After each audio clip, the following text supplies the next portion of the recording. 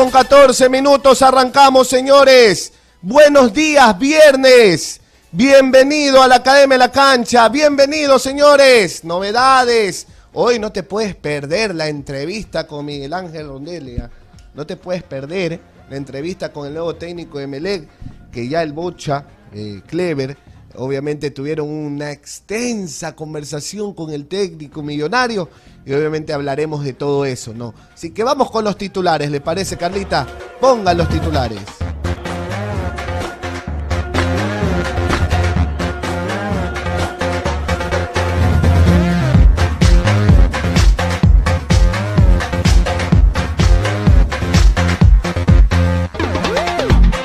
Sigue moviendo el mercado de transferencias del fútbol ecuatoriano ayer. Tal como te lo anunciamos aquí en horas de la mañana, Winston Fernández, nuevo refuerzo de Guayaquil City. Ya tengo el 11 del City, el Bocha se va a emocionar porque es un sistema que le gusta a él.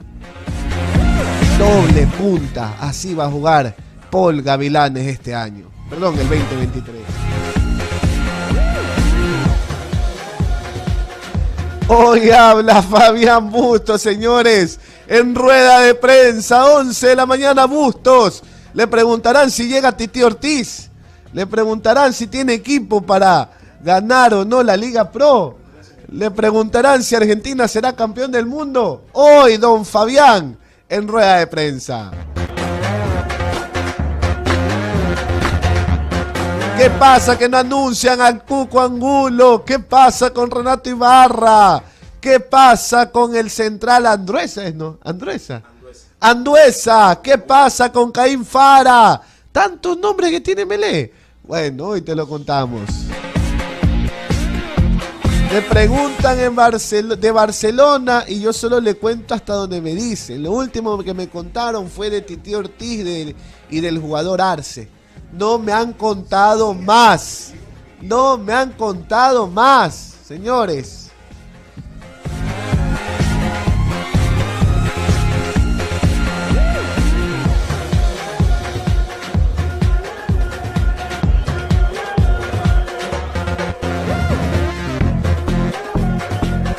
Matías Ferreira, señores, nuevo, nuevo defensa del Delfín.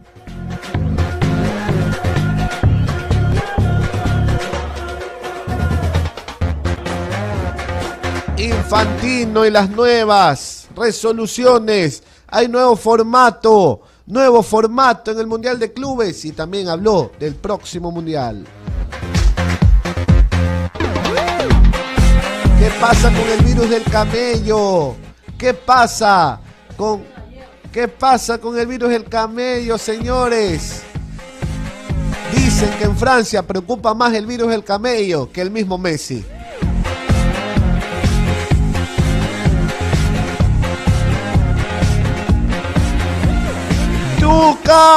Saca tu cañón. Un año más renovado, mi tuquita del alma.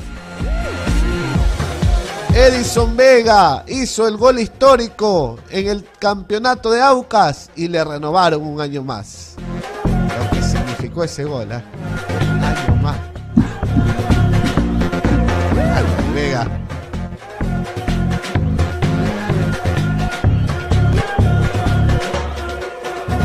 Mejor arranquemos. Bocha Armendaris, ¿cómo le va? Buen día. ¿Cómo está, Gabito? Un saludo muy cordial para usted. Sí, Martín. Martín sí, está con nosotros. Saludos para nuestro querido amigo Martín, para Carlita en controles, ¿no? Ya está listo el tercer y cuarto para mañana, domingo Argentina con, con Francia, partidazo imperdible. Así que vamos a ver, los jugadores todavía están un poquito tranquilos, los de la final, pero a medida que se acercan los minutos, ya ahí te vas poniendo tenso, hablas poco, te va cambiando todo. Eh, el organismo, claro. Entonces, pero eso es una preparación para el, para el partido, ¿no? Usted tiene que ponerse un poco tenso para que eh, su, uno pueda ser más rápido, los sentidos se agucen más. Ahora no tiene que pasarse, porque usted se exagera, se pone muy tenso. No, pero uno tiene que estar en estado de alerta para jugar, no puede estar así tranquilito. No, eso es malo. Entonces es preferible estar un poco tenso, nervioso, moverse y obviamente la cabeza así bien centrada en lo que va a hacer. Dicen, ¿cómo es? cabeza, ¿cómo es? Cabeza, fría, corazón caliente. Corazón caliente. Cómo se juega estos partidos, ¿no? Así que va a ser una final espectacular y acá los equipos se van moviendo. Este, ayer eh, hubo la nota con el profe Rondelli, Martín que no, no, ha escuchado, ¿no? Eh, le preguntamos al último Martín y profe, diga este, Francia, Argentina. Diga la plena, diga la plena. Sí, al último, al último dijo, a ver, a ver, con el corazón te digo Argentina, con la cabeza te digo Francia. El que, que es más equipo. Primer argentino que. Primer argentino. Primer argentino que veo que dice eso. Primer argentino. Pero bueno. Martín López, ¿cómo le va, amigo? Buen día. ¿Cómo va? Buen día, un abrazo grande ahí, un saludo para Gabo, para el Bocha, para Carlita en los controles.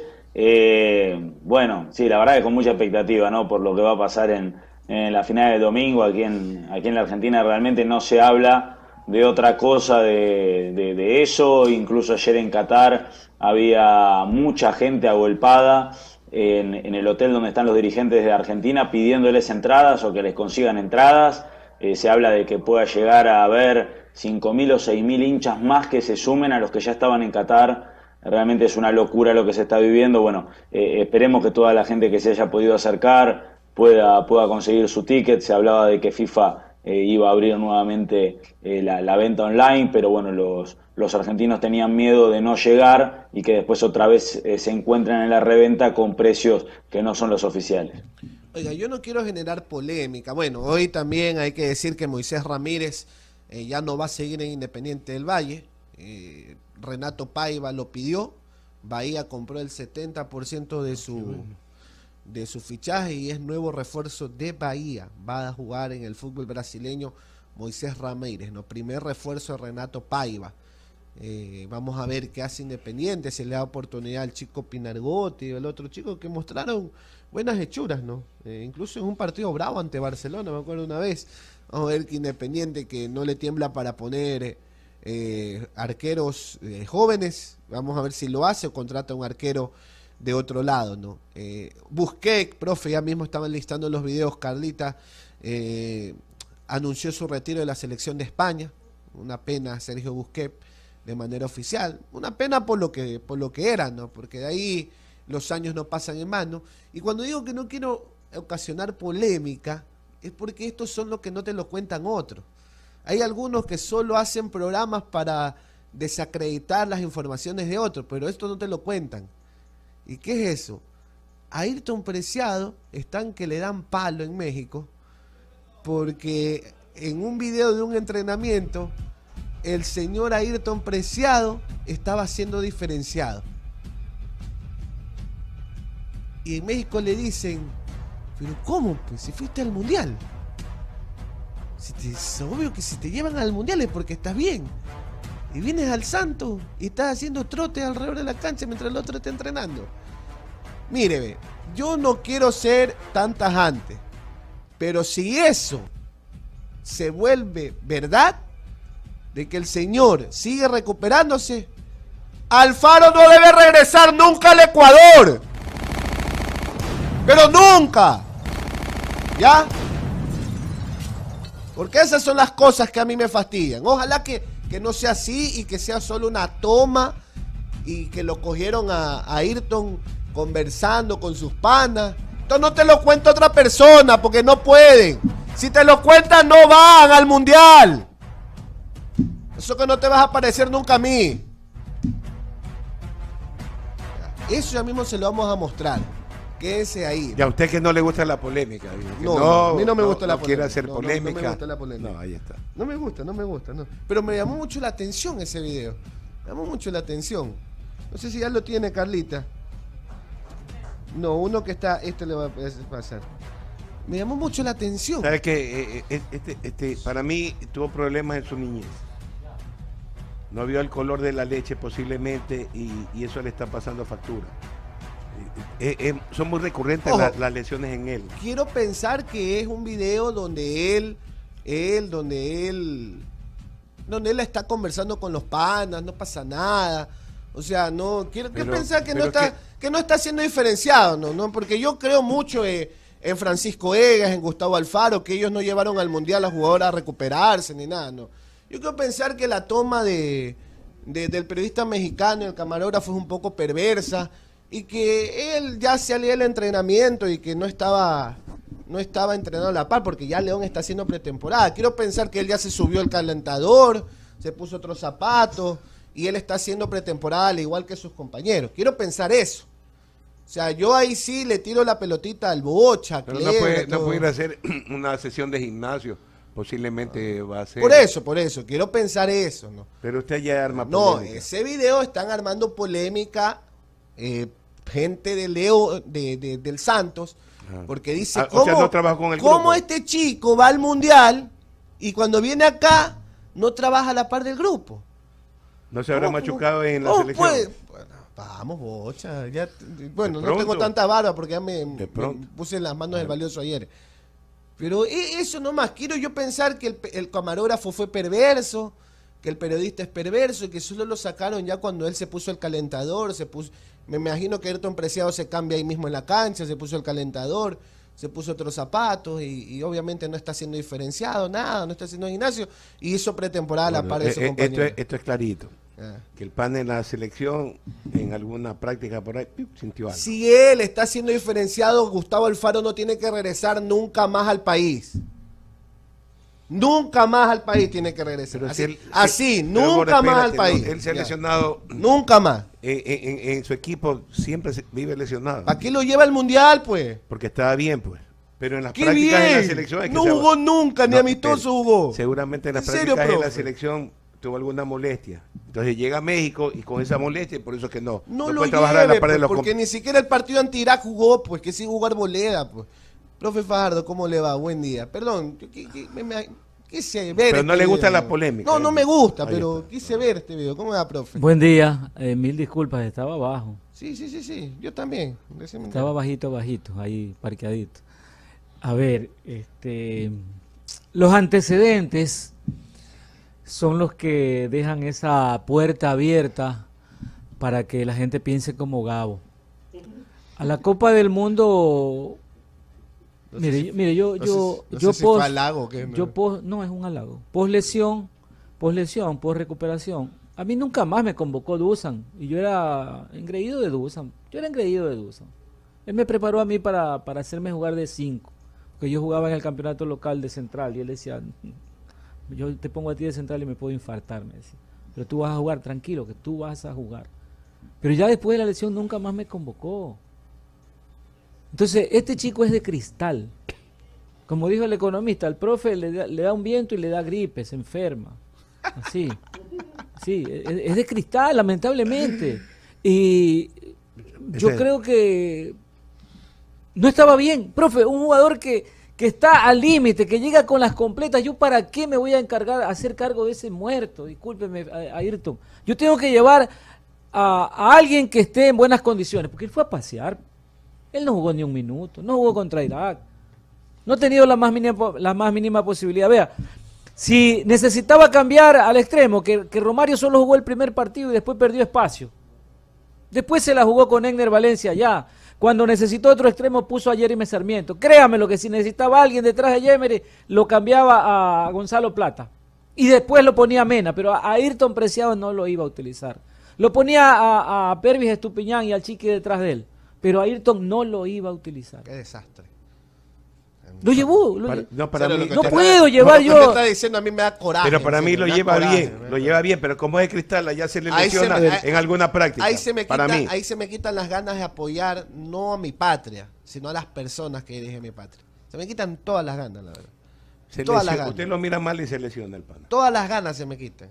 No puede ser posible que a un mundial llevemos jugadores a pasear pues como que si como que si tuviéramos 11 jugadores de tremendo nivel pero para quién es, pero, a ver este, usted puede llevar no, no, usted, usted puede llevar a alguien a quién te puedo decir de la selección ecuatoriana a Hincapié. A, a Moisés lo puede llevar después de una lesión y que esté cerca de recuperarse. Pero ¿qué, qué ha hecho? Es en serio, ¿qué ha hecho Ayrton Preciado en la selección? Tuvo una temporada brillante en brillante. Brillante, una, no sé si dos, una, pero una brillante. Pero después de eso llegó a México y amenazó con ser ese mismo jugador, profe. Un par de partidos en el inicio con gol incluido, después de lesión en lesión. De lesión en lesión. Entonces son, problemas de él. Ahora, el que lo lleva es Alfaro, pues, profe. El que cree que allí hay una especie de, de Vinicius Junior es Alfaro. Porque yo no lo veo así. Yo nunca lo he visto bien en la selección. Pero Alfaro, ¿saben qué hizo una vez? Lo puso hasta de interior. Un puesto donde nunca lo había utilizado para que él sea el lanzador en un partido, no sé si de eliminatoria, pero ha confiado mucho en él. Él habrá visto cosas que nosotros no vemos. Porque sí hemos visto un jugador desequilibrante, de muy buena técnica y con gol. Pero ese jugador hace tiempo que no Recuerda aparece. que tuvo una fractura por Claro. estrés. Ese- Para mí tiene problemas de niñez tuvo él. Y entonces ya no aguanta, el- el- no aguanta el entrenamiento. Ojo. Cualquier carga alta lo, lo, lo, lo- Pero eso es grave, profe. Es- es que es grave. Eso puede, puede Eh, eh, traer eh, una consecuencia si él no puede, no juega nunca. que, que no vaya a poder recuperarse. Ojo, mire. ojo Martín. Mire, yo no sé hasta cuándo tiene el contrato, perdóname, Gabo, yo no sé hasta cuándo tiene contrato. Pero una vez que se le termine el contrato con Santos Laguna, No va a tener En opciones, México. no va a tener opciones en en, el extranjero. Sí lo va a contratar. 6 profe. millones tirados a la basura, dicen Santos. Ahora, quiero repetir. Yo no estoy diciendo que el señor está lesionado. Estoy diciendo que es lo- así, ¿no? Estoy diciendo que los camarógrafos son perversos. Estoy suponiendo que toma, hicieron una toma justa. Porque a veces hacen tomas justo en el momento no, no tan preciso. Quiero Si creer- usted va al gimnasio no le hacen toma, quiero, creer que el señor se puso al calentador luego de hacer pretemporada a la par con sus compañeros. Quiero creer que también se cambió los pupos y se puso los zapatos deportivos. Y quiero creer que no está siendo diferenciado, sino que está conversando porque se va rumbo ya retirándose el entrenamiento. Eso quiero creer. No quiero creer que lo llevaron lesionado. No quiero creer que Alfaro es solapador. No quiero creer eso. No quiero creer lo otro, Martín López. A ver, puede haber pasado esto que, está mencionando Gabo, que obviamente ha sido lesionado. A ver, eh, en óptimas condiciones al Mundial no fue, eso ya lo sabíamos. En teoría estaba en el, en el proceso final de su recuperación y todavía lo que le faltaba, creíamos nosotros, era ritmo futbolístico. Eh, también lo que pudo haber sucedido, como dice el profe Bocha, es que eh, durante la Copa del Mundo se haya resentido la lesión y lo hayan ocultado. O mismo pudo haber pasado que en su retorno o en sus vacaciones el, futbolista se haya lesionado. O sea, e- es una cuestión esa que no vamos a saber. Lo único que sabemos a ciencia cierta es que, eh, como dijo Gabo, en el amistoso previo no jugó. Y si no jugó en el amistoso previo es porque todavía el 100 en ese momento no estaba. Después, ¿qué pasó durante el desarrollo de la Copa del Mundo? ¿Y qué pasó? Eh, ¿O por qué Alfaro decidió llevarlo sabiendo que quizás no iba a estar en óptimas condiciones? Eso lo vamos a saber únicamente en la boca de Alfaro. Lo que a- ahora estas imágenes pueden ser dos cosas. Que el jugador se haya estado lesionado durante toda la Copa del Mundo y fue lesionado, o eh, que el jugador se haya podido resentir en un, en un entrenamiento en la Copa del Mundo o mismo en, los primeros días acá en, su club. Llama la atención, llama la atención, pero bueno, también puede ser que no haya sido nada y, es una imagen fuera de contexto. Bueno, Ojalá que sea así. ojalá, ojalá, ojalá que sea un... Pero que los medios mexicanos han, han Están dando palos los medios mexicanos. Están dando palos porque ellos dicen, bueno, ¿cómo puede ser posible que un jugador que esté convocado al Mundial, que se supone que al Mundial vas, eh, van los que están en óptimas condiciones, eh, se supone, ¿no? Eso es una mentira más del fútbol, eh, que estás en óptimas condiciones, que estás bien físicamente, eh, y regresas y lo primero que haces no es hacer pretemporada con tus compañeros, sino ser diferenciado. O sea, ahí hay un ay, ay, ay. O sea, pero bueno, eh, ¿le parece vamos a la pausa y regresamos con más información? Hoy se retiró Busquet, llora Riquelme, llora eh, Santiaguito, pero se retiró de, de la selección de España. ¿Y el Barça para cuándo? No sé cómo dice, no sé, ¿y el Barça para cuándo? No, pero vamos a la pausa y regresamos. 8.30 AM Radio. Radio Huancavilca, llegando a nueve provincias. Es tiempo de una pausa comercial. AM Radio Huancavilca. Suena el silbato. Kendall toma la pelota, le hace un quite al desgaste y a los daños en el motor. Y con su habilidad extiende el cambio de aceite. El público enloquece en la tribuna. Kendall es la mejor defensa para tu motor y el mejor ataque contra el desgaste. Póngale Kendall. Y arranca el Gangafé, señores. El quiero descuento corre entre las doras. Le da un pase a la busca regalo. Cotizadora hace un, dos, tres, pro forma, se decide. ¡Esto huele a gol! En la zona de frío, el mil preguntas arma su estrategia mientras en la banca se prepara la familia Miranda. Se cobra el tiro de esquina. ¡Gol! ¡Qué golazo el Gangafé! Porque en la ganga tenemos precios, premios y créditos mundialistas. La ganga, precios de Bahía con garantía. Mundialmente comprobado. Al futuro. El bienestar de la gente se siente. Alcaldía de Guayaquil. Autorización número 609. CNE, elecciones 2023.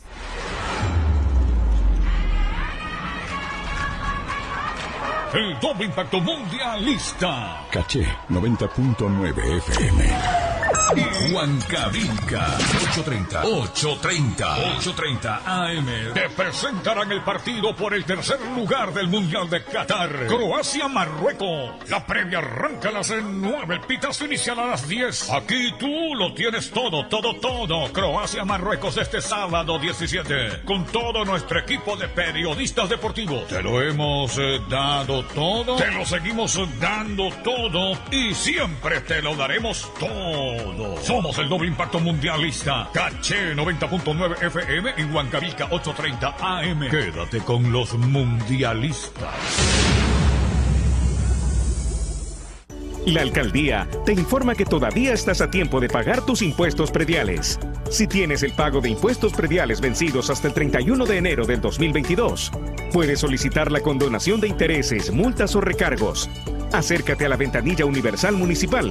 Recibe toda la información para que condones tus deudas por impuestos prediales. Aprovecha estos últimos meses del año y hazlo ya. El bienestar de la gente se siente. Alcaldía de Guayaquil. Autorización número 986. CNE, elecciones 2023.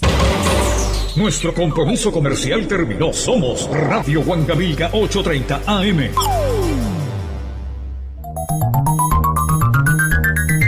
La Academia en la Cancha, primer tiempo, por sus radios, Caché 90.9 FM y Huancavilca 830 AM.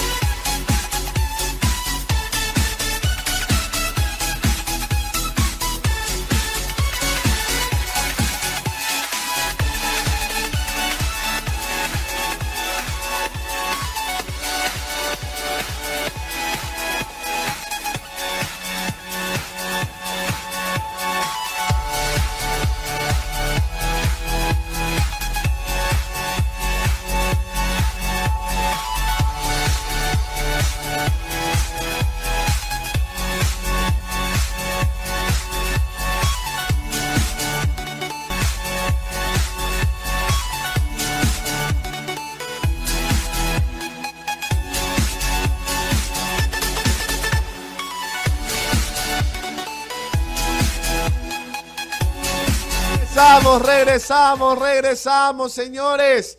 Téngame lista la fanfarria, porque vamos a festejar los 40 de Claire Fajardo. Los 40, señores. ¡Feliz cumpleaños al último 5! ¡Súbale! Felicidades, felicidades. Que tengas dicha toda la vida. Empezó a los 17 años, por eso tiene 45, por si acaso. Si acaso tiene 45, así que feliz cumpleaños al profe, profe Claire Fajardo. Yo lo digo así nomás, voy a tener unas palabritas al profe, en el boche Martínez. Decir. Yo al profe lo quiero mucho como un amigo, como un maestro, se lo he dicho fuera del micrófono. Dentro del periodismo yo lo quiero superar porque él es el mejor comentarista deportivo del Ecuador. Él es el mejor. Entonces, uno siempre quiere superar al mejor. Estoy chiro, no sé gordo. si en uno, dos, tres, cuatro años. ¿no? Así que yo, la prim- el primer partido que yo vi fue Emelec, el Nacional en el modelo. Nunca me imaginé, que no les voy a decir viejo por si acaso, ¿no? que 25 años después iba a trabajar con Bochar.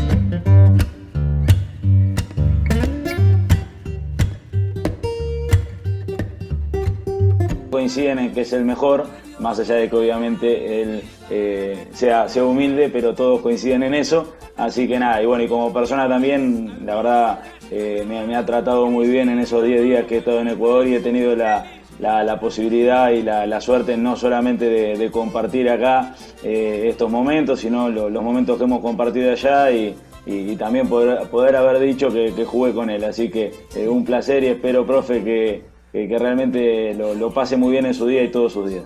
Ahora, Muchas gordo, eh, gracias. ya, ya, espera, eh, compadre, a ver, ¿y cómo vas a superarlo, gordo? ¿Ya estás estudiando qué? Hay que No, pues, profe. sí, a ver. Solo gritando no va a poder. Ah, está preparando. Pero no, no, No, no, no, tiene humo. Es Para que estaba superarlo preparándome, tiene que... suspendiendo las clases, profe. Hoy yo no bien. fui. Voy, voy a, a- aclarar una vez más porque ver, mire, aclare, eh, aclare, eh, aclare, muy poca gente me felicita Hoy. este día, solo los más allegados, mis amigos y mi familia. Lo voy a lo voy a aclarar, una vez más lo voy a aclarar. A ver, a ver. Yo soy nacido en una finca cerca de Balsar, una finca que pertenece a Balsar. Yo nací- ni siquiera soy de Balsar, o sea, soy una finca que pertenece a Balsar, obviamente soy Balsar. Claro, claro. Pero nacido en una finca y desde los tres años vivo aquí en la ciudad de Guayaquil. Nací el 16 de diciembre del 64. Grande, profe. Y como pueden entender, me está felicitando una de mi, mi nuera, mi nuera. Este, como pueden entender, allá no es tan sencillo esto de ir al, Al al registro. registro civil enseguida. Y me inscribieron 15 días tarde. 15 días tarde, por eso soy inscrito el 1 de enero del siguiente año. No soy inscrito el 1 de enero después de 5 años, por si acaso. El 1 de enero del siguiente año. Por eso, desde la parte legal, y esto es lo que sirve el documento, yo soy el 1 de enero del 65 para todos mis, mis trámites. Tienes africano. No, no, no, para nada que ver. Pero el día en que yo cumplo años y el que lo recuerdan mis amigos y mis seres Ah. queridos es el 16 de diciembre. Así que para Ya todos está- aquellos... está aclarado. Aclarado, aclarado. Pero el día 1 ustedes van a ver que aparece en Facebook las felicitaciones. Ubilla dice, un día como hoy nació Claire Fardo y bueno. Me felicitan el 1 y yo les digo gracias, gracias, gracias, gracias a todos. Ahora, no entiendo lo de Clever Emilson, no lo entiendo. Mi padre es un campesino, mi madre también. No sé a quién se le ocurrió ponerme esos nombres y de dónde los sacaron. Quizás se imaginaban que iba a salir un jugador de fútbol que después de querer, escrito, al- que escrito, después de querer en piedra, como usted dice, después de querer al Ecuador quiere más a Brasil y a todos los equipos brasileños, discúlpeme Martín, lo- los quiero a todos los equipos brasileños, a todos. A los que jueguen los quiero y los banco y los aprecio a todos. Profe, al, uno acá- que no, al único que no quiero es a Lula. que se Acá, el bocha. acá Lu- Lucho Viera dice, el profe Fajardo es el Byron Castillo de Balsar. Luchito. No. Rafa Joaquín lo dice, larga vida al 5. Eh, dale mi feliz cumpleaños dice, al profe. dice, eh, Rafa, el jugador diferente. El jugador diferente. Acá también un abrazo a Eric Lobor que le manda saludos al profe Fajardo. Un abrazo, mi querido Eric, que está escuchando, ñaño querido. Te quiero mucho. Bueno, y a toda la gente que se está sumando. Giovanni Matamoros, un abrazo. El Guaje Villa también. A toda la gente que está en sintonía. Entonces, despejar las dudas, ¿ah, Martín? No pienses mal. El profe no es pasado, por si acaso. 15 días. Eh, a mí, pues, por ejemplo, mi, mi, mi padre tenía el mismo tema que, que el profe. Había nacido un 21 de noviembre y estaba anotado el 23 eh, o el 25, ahora no me acuerdo, de, de- de noviembre. También él nació en España y, y también lo anotaron 3, 4 días tarde. Bueno. Don Edgar Alan Mena, un abrazo. Le manda, le manda Abrazo deseos. Ahí también. Y por cierto, a, a todos los compañeros que a la entradita me estaban esperando. Me hicieron una, una, un- Una calle de honor. una calle como, como el campeón de, de la Champions, La pase por ahí. Giovanni, Mo- Giovanni Molineros y ¿Qué yo. promete, profe? Este, empanada de queso. Hoy, hoy promete empanada usted. bueno, Giovanni Molineros también. Giovanni le dice éxitos, profe. Feliz Gracias. cumpleaños, Giovanni Matamoros. Bueno, toda la gente también que está en sintonía. Iba, íbamos a. pues, Póngame todos los videos ahí, pero póngame el del, eh, de Guayaquil City. Porque ayer presentó a Winston Fernández. Bueno, ya lo habíamos dicho acá. Pocha Armendari no nos creía que le decíamos, profe, va a venir Winston Fernández. El- Va, va- va a tener una. La alineación que me dio. Ya le va a dar el 11, ya le va a dar el 11 al escándalo. City, ya le va a dar el 11. Va, va a pelear el City. Ya le va a dar el 11 del City. Le va a dar el 11 del City, así que me confirma si ya lo tiene. Yo le paso por acá, pero bueno. Eh, sí, yo le pasé todo de una ahí. Pero bueno, Bocha, ya le voy a dar el 11 del City. Déjame eh, pasarle acá a la señorita para que lo tenga. Regray Gavilán. Él él es Pep, el Pep ecuatoriano. Pero bueno, ahí está. Está, está promocionando bonitos también eh, el tema también de, lo, de los equipos, ¿no? Así que eso con audio, por si acaso. Y ya, ya dijo lo de García Vaso, sí. Sí, ya dijimos lo de García Baza. A ver, dele, El póngalo. amigo de, el amigo de, de Martín. Póngalo, sí. A ver cómo es esto. Dice que era cosas caliosas.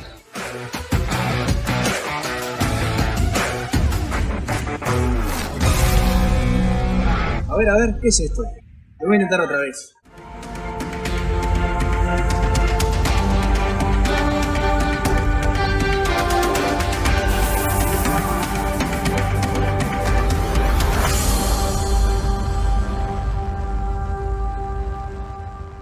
Ah, mirá quién es. Otro uruguayo más. Garra charrúa no va a faltar.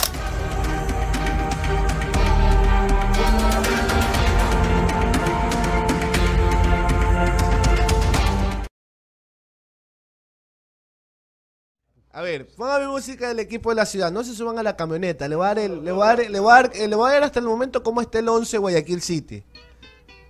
En el arco, el arquero titular de la selección ecuatoriana de fútbol, Gonzalo Valle. No me van a pedir más a Domínguez. pues. No creo que me hagan campaña por Burray, digo, ¿no? O sea, es entre Moisés y Valle, para mí. No sé, no sé si ustedes son románticos y piden a Burray. Por derecha, Vargas. Snyder Cabeza, John Narváez y Roger Arias. Humanante con Winston Fernández. Cleviño va a ser volante por derecha esta temporada. Ahí está Ma- Martín. Asiente con la cabeza. Por Ah. izquierda va a estar Alonso, el uruguayo. Y va a jugar doble punta. Parrales y Renato César. De momento ese es el 11. El City está buscando un extremo más. ¿Y Torres? Darwin Torres va a pelear. empezamos con los extranjeros en el banco. Va a pelearla, va a pelearla, pero va a pelear. Sigue Tor, está Torres, sigue Zambonino por si acaso, sigue Giancarlo- León, el León. Sigue Giancarlos Montaño. León Márquez no. No, sigue Giancarlos Montaño, por si acaso sigue Angelo Quiñones. El City está buscando otro extremo. ¿De qué lado?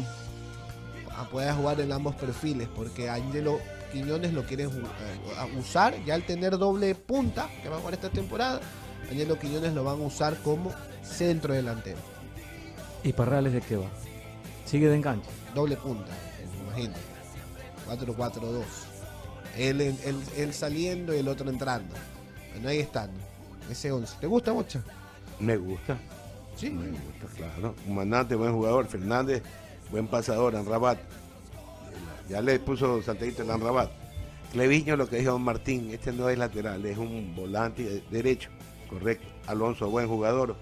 Renato César, en punta para tirar diagonales espectacular. Y Parrales, una recomendación, que no se baje tanto a mitad de cancha. que juegue apenita atrasadito ahí. Entrando y saliendo con Renato César. Muy buen equipo, a mí me gusta. Está bien, está bien. Martín, me gusta. ¿te hizo caso, Paul? Es que cuando lo decía acá prácticamente me, me decían que estaba medio loco, Gabo. Eh, Yo dije, para mí como volante es un gran volante. El, problema de Cleviño es la- el tema de la marca. Él puede retroceder, pero no marca. Me parece que, que le va a hacer muy bien eh, a, a este equipo y obviamente al futbolista ese cambio de posición. Y no se va a ver tanto eh, esto que, que se veía seguramente en, en las temporadas pasadas que tenía que ver con una reestructuración de moverse todo para cubrirle el puesto eh, y hacer algo más natural. Eh, la verdad es que se va, se va reforzando, se va reforzando bien. Eh, le, falta eh, algún, algún futbolista, pero bueno, yo creo que, que, que le mejora, le mejora el plantel. Bueno, ahí estaba. Eh, Paiva se llevó a Moisés Ramírez. Ahí yo le pasé las dos fotitos. Lo decíamos en los titulares. eh, Moisés Ramírez, nuevo refuerzo del Bahía. Del Bahía. Ya viajó incluso Moisés Ramírez, 70% de... ¿Cuánto, cuánto es el, el monto? No sé, profe, solo dicen que le compraron el 70% ¿Qué, qué manera de vender jugadores el Independiente, ¿no? Tiene un superávit, pero increíble. Buenísimo. Pero bueno, ¿y, y qué arquero va a contratar? Sí, ahí está, cuando lo retó. Ay, Eso perdón. es en, en, En Manta. en Manta. Cuando lo retó Paiva a Ramírez por querer pelearse con Gaibor y con todo el mundo. Que esa noche lo expulsaron, me parece. Sí. Eh, pero ¿sale a comprar eh, Independiente o le da chance a los juveniles? Tiene dos arquerazos ahí. Detrás de Ramírez, dos arquerazos. Pinargote es un arquerazo. Y el otro que, que va detrás de Ramírez. Profe, que in- siempre. Independiente, cualquier jugador, usted pone el parte y se lo lleva. Porque tiene uno inmediatamente ahí. No hay problema, está para Pinargote. ¿Cuál es? ¿El Largote? El largo. Muy tapó contra. Barcelona en su debut. Póngalo. Pero, pero Juega antes de bien con los pies. está el otro. No, pues lo pone. Eso no, no, no es que le da miedo, no, no, estos chicos no lo van a poner. Ya con la, con el visto bueno de Anselmi, pónganlo que estos son tremendos arqueros. Está bien. Bueno, eso como, como información, como detalles también de lo que se ha dado el último día. La gente de, de Barcelona, MLE, vamos a hablar un poquito de ellos también, pero como información, darles a conocer eso, ¿no? Eh, también busqué, busqué se fue. Pónganlo sin audio, porque para no temer por si acaso una situación y solo darlo, eh, eh, cómo es el, el video de, de la despedida de Sergio Busquets que termina retirándose de la selección de España, ganando dos Eurocopas, siendo campeón del mundo. ¿Qué más? Pues ya ganó todo. pues, o sea, ¿Qué más le puede poner a Busquets? Decía Riquelme que él cambió el fútbol. eh, y, y todo el mundo se Pero va a acordar. inteligente. Es el momento de decir hasta aquí. Hay un año desde el... dos- no, pues él tenía que decir hasta aquí hace rato, profe. En Rusia 2018 tenía que decir hasta aquí. Disculpen. Se demoró cuatro años. Y en el Barça se ¿Cuántos está tiene? más. A los 28 no se iba a retirar. No ¿Qué sé pasó? cuántos años tiene, pero... 32 creo que tiene. Pero su intensidad es No. como que un, un abuelito de 80 años. ¿Qué le pasa? Pero no lo ve, pues. Se lo han comido. Ahora ya se lo Yo gastado. creo que por eso es que el Barça no gana nada. No, no, no, no, no marca nada, Busquets. Antes de la, de la Copa del Mundo, yo le decía, y creo que usted no aceptaba, que Tiago Alcántara tenía que ir. Tiago Alcántara al Mundial. Buen jugador. De cristal también. Pero tiene, lesionado. tiene tiempo que no, no se lesiona. Ya juega en el Liverpool. meses. En el Liverpool, no, tiene más tiempo. Más tiempo. Claro. Viene siendo- Tremendo jugador. Pero ahí- Pero Luis ¿sabe Enrique quería que, que Pero, él profe, siga. ¿sabe qué? Pero era, era lo, casi lo mismo. Pues todos los, los volantes este, tienen este estilo de ser tocadores. Toco, toco, toco. Y ese estilo ya como que tiene que ir eh, lo, revolucionando. El técnico que venga de de España tiene que cambiar, darle otros matices en ataque. No solo A, a mí me parece que la, la diferencia entre las últimas selecciones de España y la que quedó campeona del mundo eran sus delanteros. Estaba el niño. Claro, pues. Estaba Villa, estaba Pedro, estaba el Niño eran, eran tremendos. Incluso pues. hasta un suplente, los suplentes Llorente era buenísimo en el Bilbao. No, pero estos eran delanteros. Delantero, Llorente. Sí, un, Llor- un Llorente, un Llorente. Fernando Llorente. Que se peleó parecía- con, el que se peleó con Bielsa. Ese creo que es. Era bueno. Y Sí, es ese, ese mismo. Y ese no jugaba porque jugaba el niño, pero jugaba Villa. Pero O sea- ¿qué, qué delanteros pues tenía. Entonces ahora le falta. Pero siempre nombramos a, Xa- a los dos Xavi, a Iniesta, a... Pero nos olvidamos que tenía también a, a Fábregas, a Mata y a Silva anteriormente. Bueno, Oh, jugador. una cantidad de jugadores impresionantes de ese nivel. Mire, ponía a, a Marco Asensio de centro delantero. Pues una locura de, de- de- de Luis Enrique. ¿Y sabe por qué Y- lo sacan y a también-? Por- perdón, Martín. No, y también los defensores que tenía, porque jugaba Sergio Ramos de lateral derecho, eh, jugaba Puyol y jugaba Piqué en su mejor momento.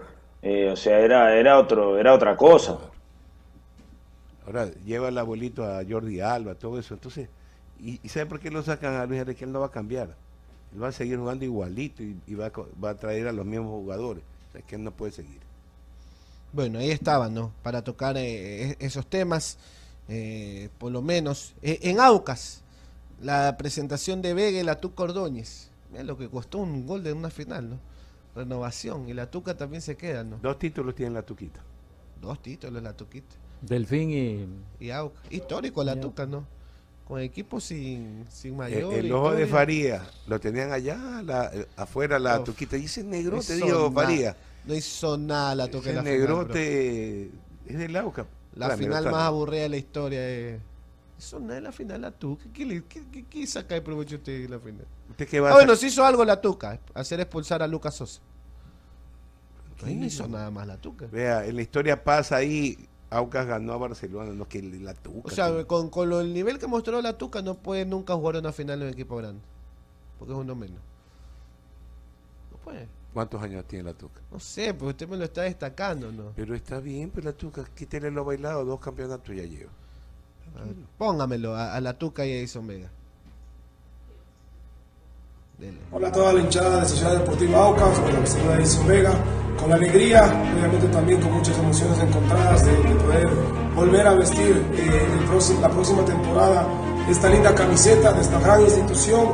Queremos muchas más cosas importantes, lucharemos por eso, estamos trabajando desde ya por eso, así que siempre agradecido con ustedes y un fuerte abrazo.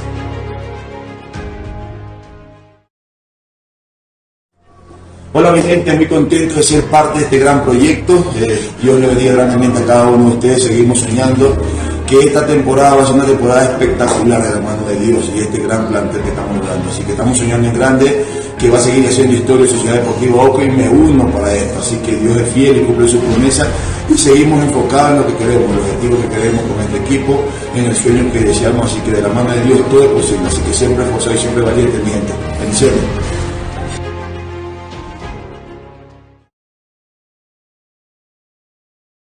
Que tiene, ese, le tiene terror porque se le lleva el cuello, la oreja. Esa es la Tuquita. Son, son como los alfileres de- del estudiante de Bilardo, pero son las uñas directamente. Pero bueno, bueno, ahí está, señores. Eh, sí, sí, 50 minutos.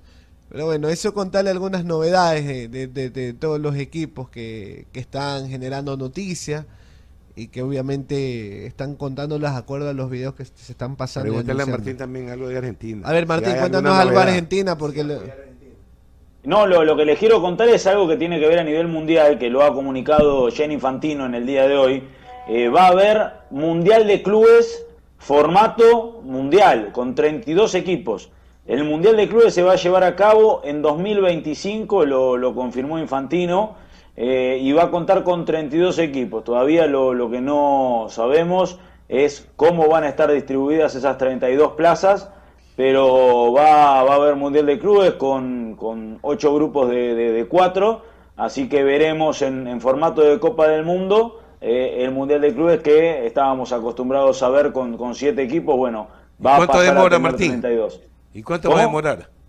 Y calculo que debe- deberá demorar un mes porque se va a realizar cada cuatro años. ¿sí? Cada cuatro años se va a jugar este Mundial de Clubes. Bueno, ahí está entonces todas las novedades eh, en torno.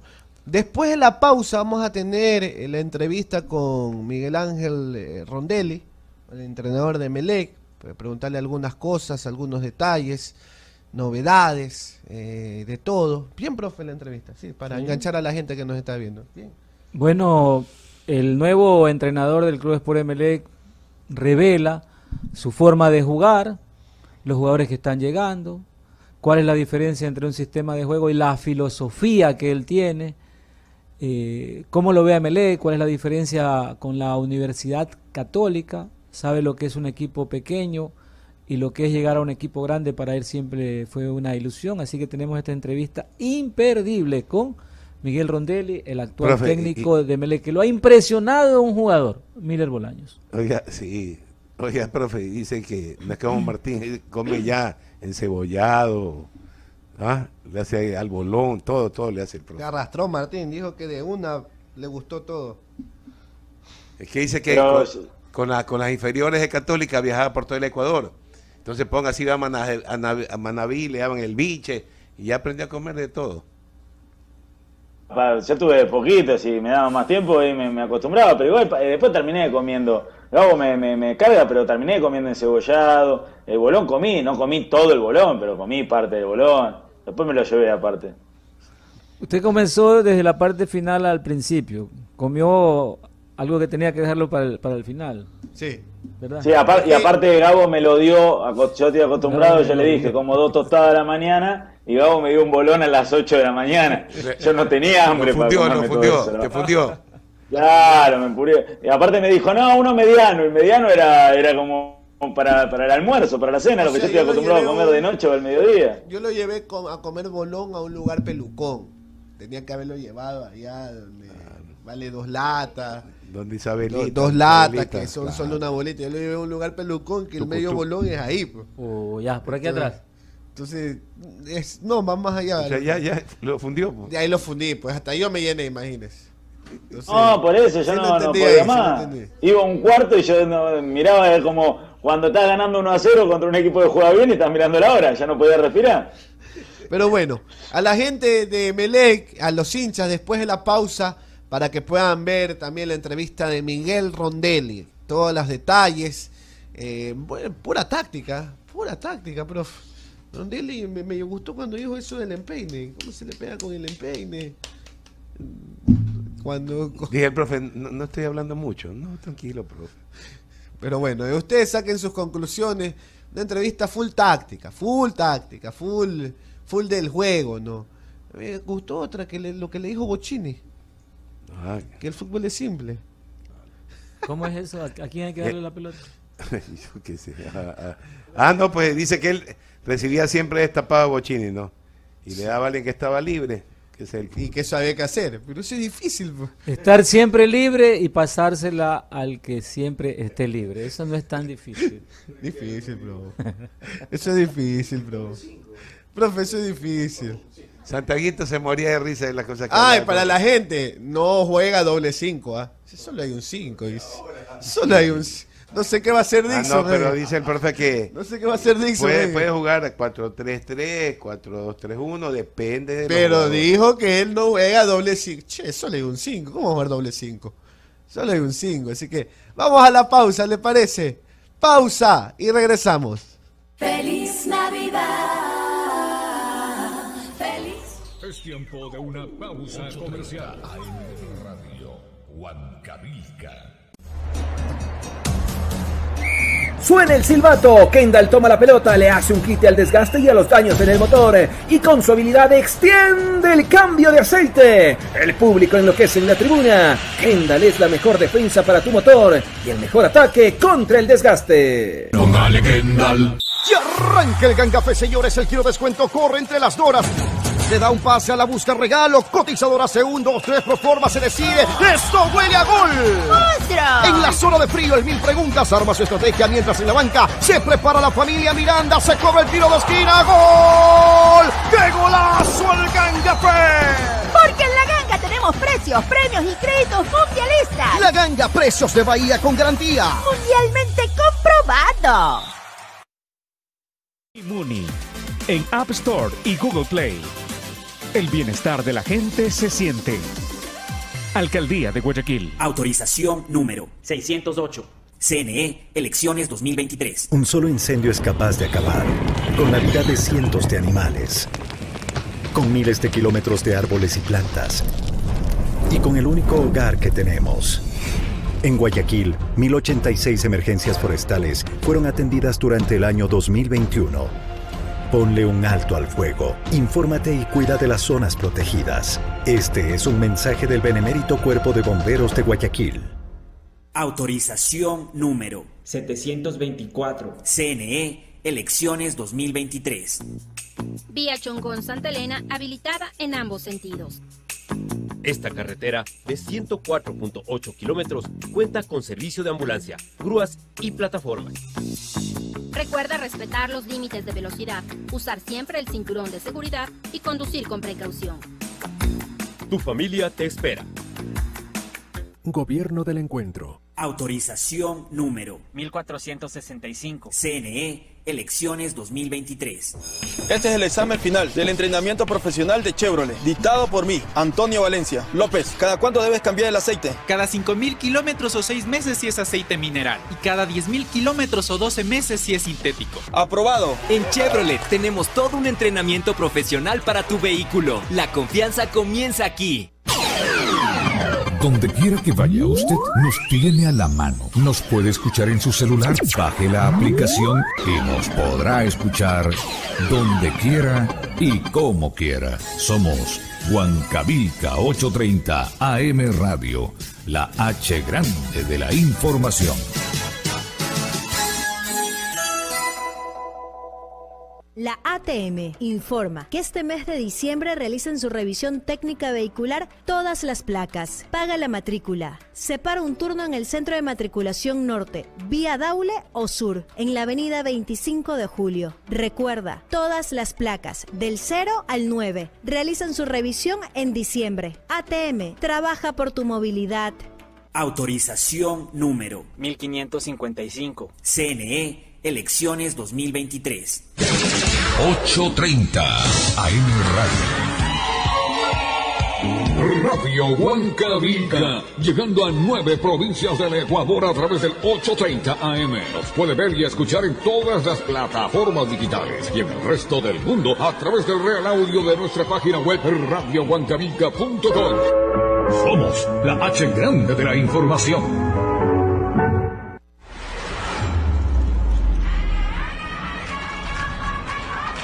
El doble impacto mundialista. Caché 90.9 FM.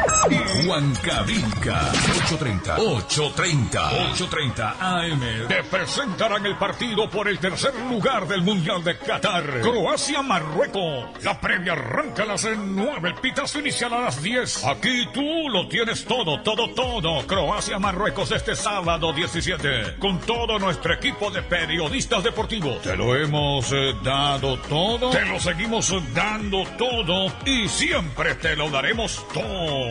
Somos el doble impacto mundialista. Caché 90.9 FM y Huancavilca 830 AM. Quédate con los mundialistas.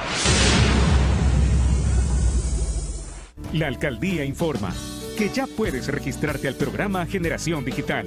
Si eres estudiante de primero de bachillerato, décimo y noveno año de colegio fiscal o fiscomisional, ingresa a www.generaciondigitalgye.com y regístrate para que puedas acceder a una de las tablets que la alcaldía te obsequiará para que estudies y te conectes al futuro.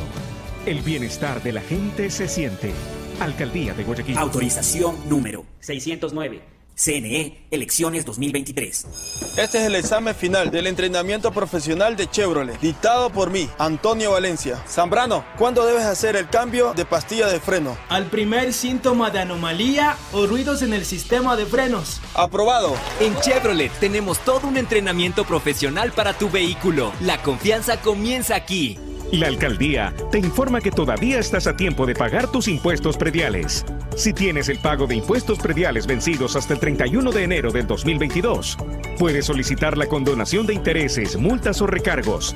Acércate a la ventanilla universal municipal. Recibe toda la información para que condones tus deudas por impuestos prediales. Aprovecha estos últimos meses del año y hazlo ya. El bienestar de la gente se siente. Alcaldía de Guayaquil. Autorización número 986. CNE Elecciones 2023. EMAPAC informa. Cuando tengas inquietudes sobre suministro de agua o alcantarillado sanitario y pluvial, no esperes. Usa los canales virtuales de EMAPAC. Línea directa al 1-800-003-003. Desde el celular marca 113 o por WhatsApp al 098 74 72 917. De lunes a domingo desde las 8 am hasta las 5 y 30. Y entre semana también puedes visitarnos en el edificio de las cámaras, Avenida Francisco Dorellana, planta baja. Queremos hacértelo más fácil y que cada gota de esfuerzo se convierta en un caudal de bienestar. Por la nueva ciudad, EMAPAC. Autorización número 1299. CNE Elecciones 2023. La alcaldía de Guayaquil presenta su aplicación Mi Muni. Una app donde podrás acceder a servicios municipales, reportar incidentes en tu sector, información sobre obras, inscribirte en programas municipales y enterarte de todos los eventos que la ciudad tiene para ti. Descarga ya la app Mi Muni en App Store y Google Play. El bienestar de la gente se siente. Alcaldía de Guayaquil. Autorización número 608. CNE Elecciones 2023. La ATM informa que este mes de diciembre realizan su revisión técnica vehicular todas las placas. Haga la matrícula, separa tu turno desde las 7 de la mañana en el centro de matriculación norte, vía Daule y sur en la avenida 25 de julio. Los sábados de 7 a 13 horas en todos los centros y realiza tu revisión técnica vehicular. Recuerda, todas las placas del 0 al 9 realizan su revisión técnica en diciembre. ATM trabaja por tu Nuestro compromiso comercial terminó. Somos Radio Huancavilca 830 AM. Estamos en la academia en la cancha por sus radios Caché 90.9 FM y Huancavilca 830 AM. ¿Qué tal a toda la gente de Radio Huancabil? ¿Qué tal a toda la gente de Radio Huancabil que Caché FM? Bienvenidos a lo que será esta entrevista exclusiva con Miguel Rondelli, el profe Fajardo, el último 5, el gran 5 que tuvo Emelec, y Ricardo El Bocha Armendáriz también, campeón con Emelec en 1979. Todos los detalles, quieren saber cómo va a ser la temporada 2023, quieren saber también todas las situaciones que va a tener Emelec, cómo se va a plantear usted aquí en esta entrevista. Bien, nos encontramos acá en el poli- Polideportivo de los Amanes con un invitado especial, agradeciéndole por su tiempo, Miguel Rondelli, el actual técnico del Club Sport MLE junto al Bocha Armendaris. Reitero, agradecerle por su tiempo, mi querido profe, le damos la más cordial bienvenida. El profe es un ex jugador de que es actual técnico, al igual que yo, un- una persona identificada con este club. Eso no quiere decir que no seamos objetivos y estamos acá, pues, para hacer unas- algunas consultitas, ¿no? Y voy a empezar, y usted aprovecha y nos saluda. Bienvenido, profe, a El Doble Impacto, acá en Huancabil, Caché. Bueno, primero les agradezco que se hayan tomado el tiempo de venir a conversar conmigo. Como, como yo le decía entre risas antes de iniciar, a mí es un orgullo que dos jugadores de, de la categoría de ustedes y que han hecho grande este club se tomen el tiempo para venir a charlar conmigo. Yo creo que voy a aprender más de ustedes que, que, que ustedes de mí, pero bueno, si ustedes quieren perder su tiempo, yo no tengo problema. Bueno, lo que le podemos enseñar es algo de la historia que estoy seguro que usted ya se ha empapado de a qué club está llegando. ¿no? Eso no tengo la más mínima idea, estoy seguro que ha visto videos de la actualidad y del pasado. Pero bueno, a ver, tengo entendido que usted eh, hace un contrato por una temporada. No es de mi incumbencia saber por qué, pero sí preguntarle qué tipo de proyecto se puede desarrollar en un año. Bueno, el proyecto que tiene la actual dirigencia tiene tres pilares, yo no me canso de decirlo, que es corto, mediano y largo plazo. ¿Por qué? Porque eh, la dirigencia llega por un tiempo. Ellos fueron elegidos por los socios y tienen un tiempo para desarrollar ese plan. Pero dentro de ese plan deben, como dije anteriormente, responder a situaciones que son de lo inmediato, situaciones que son a mediano plazo y a largo. Yo vengo a resolver esas situaciones que son de lo inmediato. Pero yo no puedo aferrarme a una dirigencia y firmar un contrato largo eh, cuando no sé con qué realidad me voy a encontrar, si, si el club va a estar a gusto con, con la manera que tengo yo de dirigir el equipo. Entonces me parece que en Argentina hay un refrán que dice que el que se quema con leche ve la vaca y llora. Entonces, el próximo técnico que venía no, no, no debía tener un contrato largo. Yo creo que los contratos deben ser por objetivo, mismo eh, con los jugadores, tienen que ser por objetivo. Entonces, nosotros venimos con muchas ganas, eh, teniendo un, un antecedente que fue el inmediato en el último año con nuestro anterior club, y nosotros tenemos que revalidar eso que hicimos y superarlo. Entonces nosotros venimos a superar eso. Pero para superarlo, creo que lo más conveniente para los dos es, para las dos partes, para, para el del cuerpo técnico, para la dirigencia, es que sea un contrato por un año, con opción a otro, pues ellos tienen la opción, tienen una opción a renovarnos, donde ya está arreglado la renovación, el salario, todo arreglado, que lo único que tienen que hacer es que si eh, en cualquier momento de- de duración de este contrato ellos ya piensan que somos los indicados, pueden ejecutar esa cláusula y renovar automáticamente por un año más. No es que a fin de año tenemos que volver a sentarnos a negociar. No. Profe, eh, yo lo he puesto como ejemplo de los técnicos. Para lo bueno y para lo malo se utilizan a algunas personas. A el profesor que acaba de salir campeón del fútbol ecuatoriano, César Farías, y a Rondelli. ¿En qué sentido? En que los dos llegaron, les dieron el equipo e inmediatamente se vio el resultado. Porque nosotros vemos que acá nos venden la idea de que el técnico tiene que venir, reconocer el ambiente, adaptarse a los jugadores, la comida, el medio, la situación geográfica. Rondelli le dieron la oportunidad, porque vino a dirigir, o contratado para dirigir divisiones menores. Se va el Sachi, acá está Miguel Rondelli. Y enseguida nosotros vimos cómo ese equipo desarrolló una forma, desarrolló un funcionamiento que le dio buenos resultados a la Universidad Católica. ¿Se puede esperar eso acá también en el Cruz por MLE? Es que hay que tratar de lograrlo, porque en la actualidad yo creo que sí el club tiene una línea, una filosofía, y en base a esa línea de filosofía ir escogiendo el entrenador. Pero el entrenador no puede demorar 8 o 9 meses en, hacer funcionar el equipo. Porque si uno no... Después los resultados son otra cosa, porque los resultados dependen de muchas cosas, de muchos factores. Pero yo creo que sí, en 4 o 5 partidos, para eso está la pretemporada también, pero 3, 4 partidos del, del campeonato uno ya tiene que ver lo que el entrenador quiere de ese equipo y lo que el, equipo debe demostrarle a los hinchas de la dirigencia. El estilo, la manera de jugar, ciertos comportamientos, ciertos patrones, eso no demora 8 o 9 meses. Si no, eh, como entrenador estaríamos haciendo mal nuestra tarea. Nosotros tenemos que, eh, durante la semana, nosotros tenemos unidades de entrenamiento. Generalmente, si un partido es de domingo a domingo, vamos a tener 5 unidades de entrenamiento. Esas 5 unidades de entrenamiento hay 3 que son clave y en esas 3 unidades clave de entrenamiento, que es donde nosotros podemos explotar al máximo el potencial del jugador, porque también hay que tener en cuenta la recuperación, post partido y pre partido. En esas 3 unidades de entrenamiento hay que lograr que nuestra idea llegue lo más rápido posible, porque si no, no. Después está en, en los jugadores esa idea que uno tiene, llevarla a cabo en el campo y lograr resultados. Y para nosotros también estamos para ayudar a lograr resultados. Pero una cosa es los resultados, otra cosa es el estilo. Yo creo que lo que yo quiero es que mis equipos sean reconocibles en la segunda o tercera fecha. No, no hay que esperar seis meses para eso. ¿Cómo se reconoce al equipo de Rondelli? ¿Qué hace dentro de la cancha cuando tiene la pelota y cuando no la tiene? Bueno, primero es, eh, es un equipo que tiene muy en cuenta lo que hace el rival. No para cambiar su estilo, sino para aprovechar. Yo creo que en el fútbol es de ventajas. Entonces yo debo como un equipo encontrar la ventaja y sufrir mediante esa búsqueda de la ventaja el menor número de desajustes. Si un equipo debe buscar ventaja y debe, vas por esa búsqueda de la ventaja, va a sufrir ciertos desajustes. Yo no puedo salir a plantear, sea cual sea el sistema, 4-3-3, 4-4-2, 4-5-1, lo que sea, después los jugadores se van a mover. Y yo tengo gente para atacar, gente para contener, gente que está atento para la contra. Eso es lo que yo hago un equipo equilibrado. Eh, ya creo que cambió el fútbol. Antes, me acuerdo, siempre se le gritaba a los chicos, hasta yo cuando jugaba en divisiones menores, pasaba un lateral y decían al otro, quedaste, ¿qué pasó? ¿Por qué? Depende cuántos jugadores me deja el rival. Me deja uno, me deja dos. Por ahí yo puedo sumarme a la línea de volante para estar atento a un rebote. O sea, el equilibrio lo va dando la pelota. Yo creo que los equipos se acomodan a, a la pelota. Mi equipo es un equipo que se acomoda en torno a la pelota o en función de la pelota y que siempre va a buscar el arco rival. Siempre va a tener, tratar de, de tener más oportunidades de gol que el rival.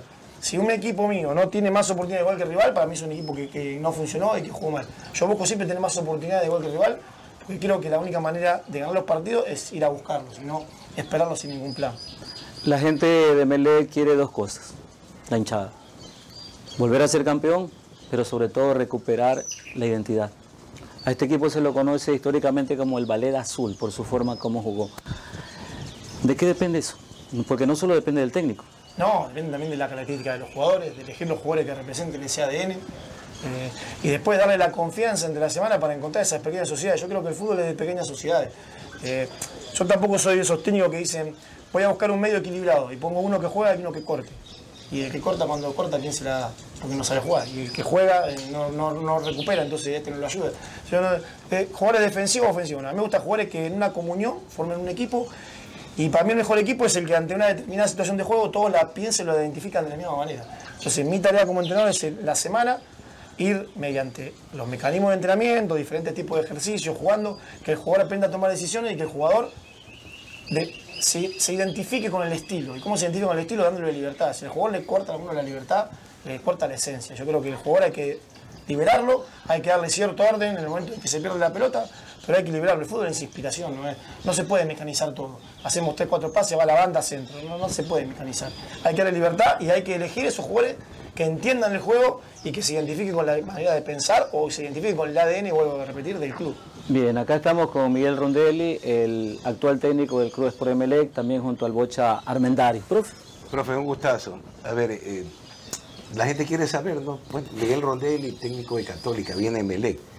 Preguntarle cuál es su filosofía de vida, su filosofía como entrenador, este, su trayectoria para que la gente conozca quién es Miguel Rondelli.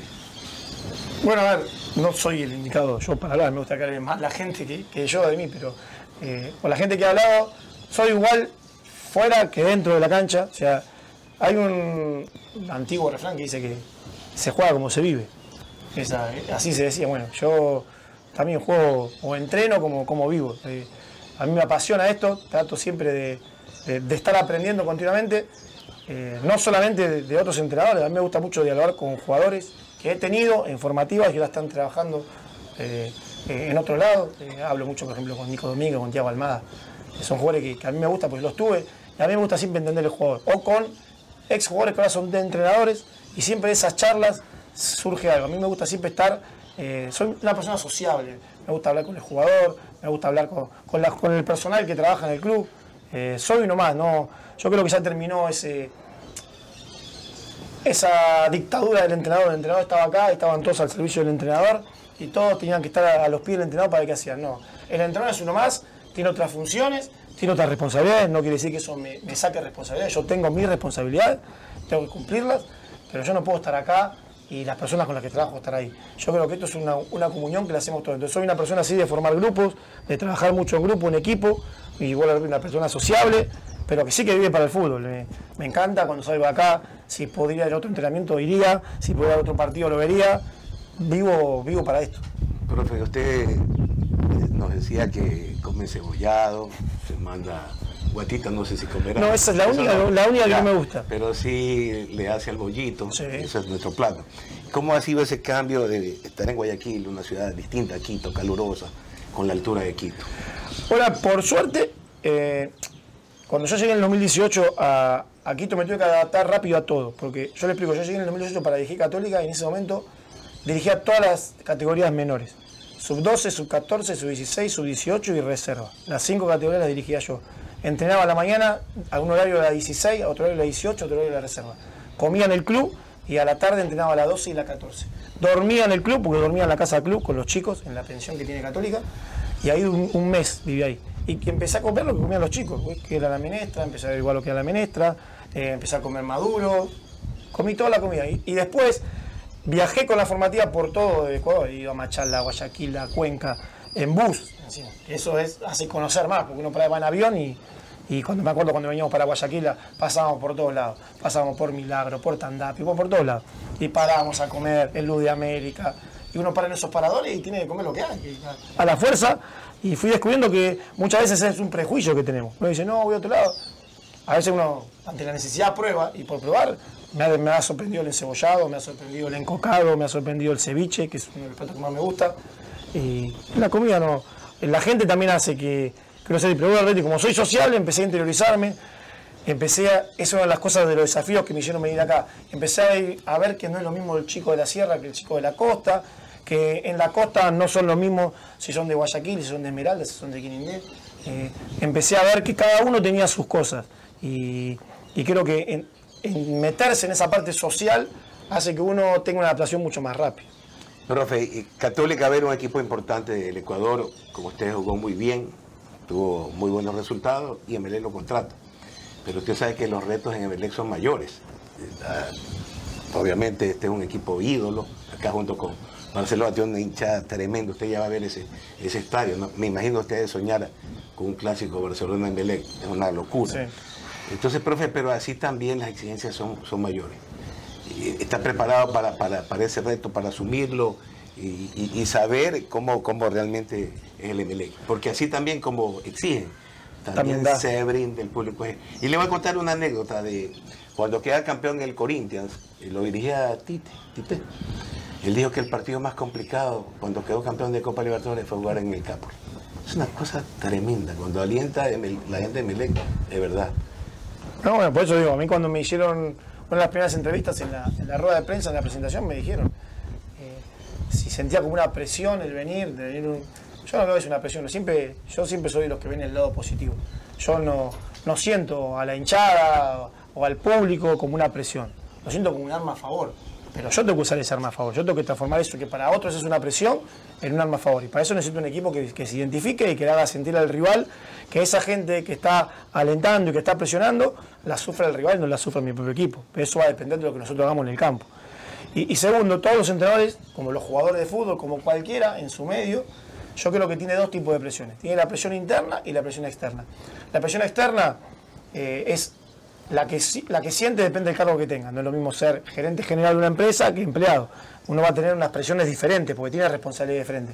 Pero después está la presión interna. Porque que si es el que es empleado se conforma con ser empleado y esa es su presión y esa es su ambición en la vida y nunca quiere ser gerente, entonces sus presiones internas son bajas. Y las presiones internas que tenemos nosotros como cuerpo técnico son altas. Nosotros cuando dimos el salto de divisiones formativas a primera división, nuestro objetivo no era hacer una campaña digna con Católica. Nuestro objetivo era ser el cuerpo técnico que saque campeón a Católica, porque nunca había salido campeón en la historia. Y nos quedamos a muy poquito. Y ahora que venimos a Emelec, nuestro objetivo es marcar una historia en Emelec. Pero para eso esto no es mágico, es cuestión de trabajo, hay que trabajar. Entonces venimos a trabajar para eso. Pero nosotros también tenemos presiones internas. No, no nos conformamos solamente con el hecho de firmar. No, por eso está el contrato por un año, como dije antes. Nosotros no, no- queremos dar un paso superador.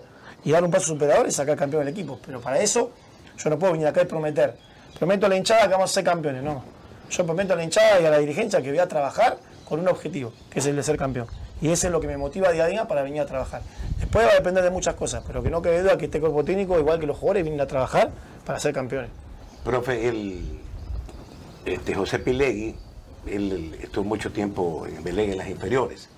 Entonces es una de las razones también porque usted viene, porque le quiere dar énfasis al trabajo inferiores. Hay un modelo del Independiente que eh, eh, es muy provechoso, le va muy bien al, al- al equipo de- del Valle. Y Belén me imagino de querer una cosa, si a usted le gusta trabajar con los jóvenes, promocionarlos para que vayan a primera, que, que- o sea, no ser un comprador, sino un formador que ahí está el negocio. Ahora, yo creo que el, el jugador que, sobre todo en un club grande ¿eh? como este, el jugador que, que viene de formativa tiene un plus. Eh, que de chico ya viste esta camiseta, ya sabe lo que es un jugador clásico. Lamentablemente, por, por cosas de, la federación no tenemos categoría reserva. Porque para mí sería eh, hermoso que la categoría reserva pudiera jugar en el campo el- antes o después del partido de primera.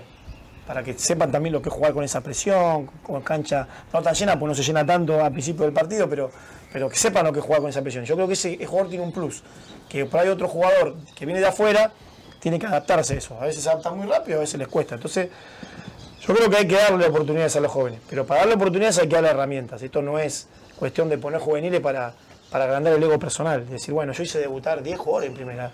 ¿Y dónde están esos 10 jugadores? Porque yo pues, mañana, en el primer partido de la fecha, yo si quiere le puedo hacer debutar a 20 jugadores en primera. Pongo 20 juveniles, juego, después ganaré, perderé, empataré. Y si me echarán, digo, no, pero yo me fui, pero hice debutar a 20. No es hacer debutar, es ver después ese chico que llegó a primera, cómo se sostiene y cómo triunfa. Porque hacer debutar chicos en primera, hay chicos que juegan 10 minutos en primera, pero no juegan nunca más. Y pero uno lo, mete en su ego personal como entrenador de que lo hizo debutar él. Eh, y no es así. Hay, hay que formar al jugador, hay que darle herramientas y hay que formarlo desde abajo. Entonces a mí lo que me gusta sí es involucrarme en el proyecto eh, para que el jugador de formativa no le falte nada. Que sepa desde chico lo que es estar en MLE.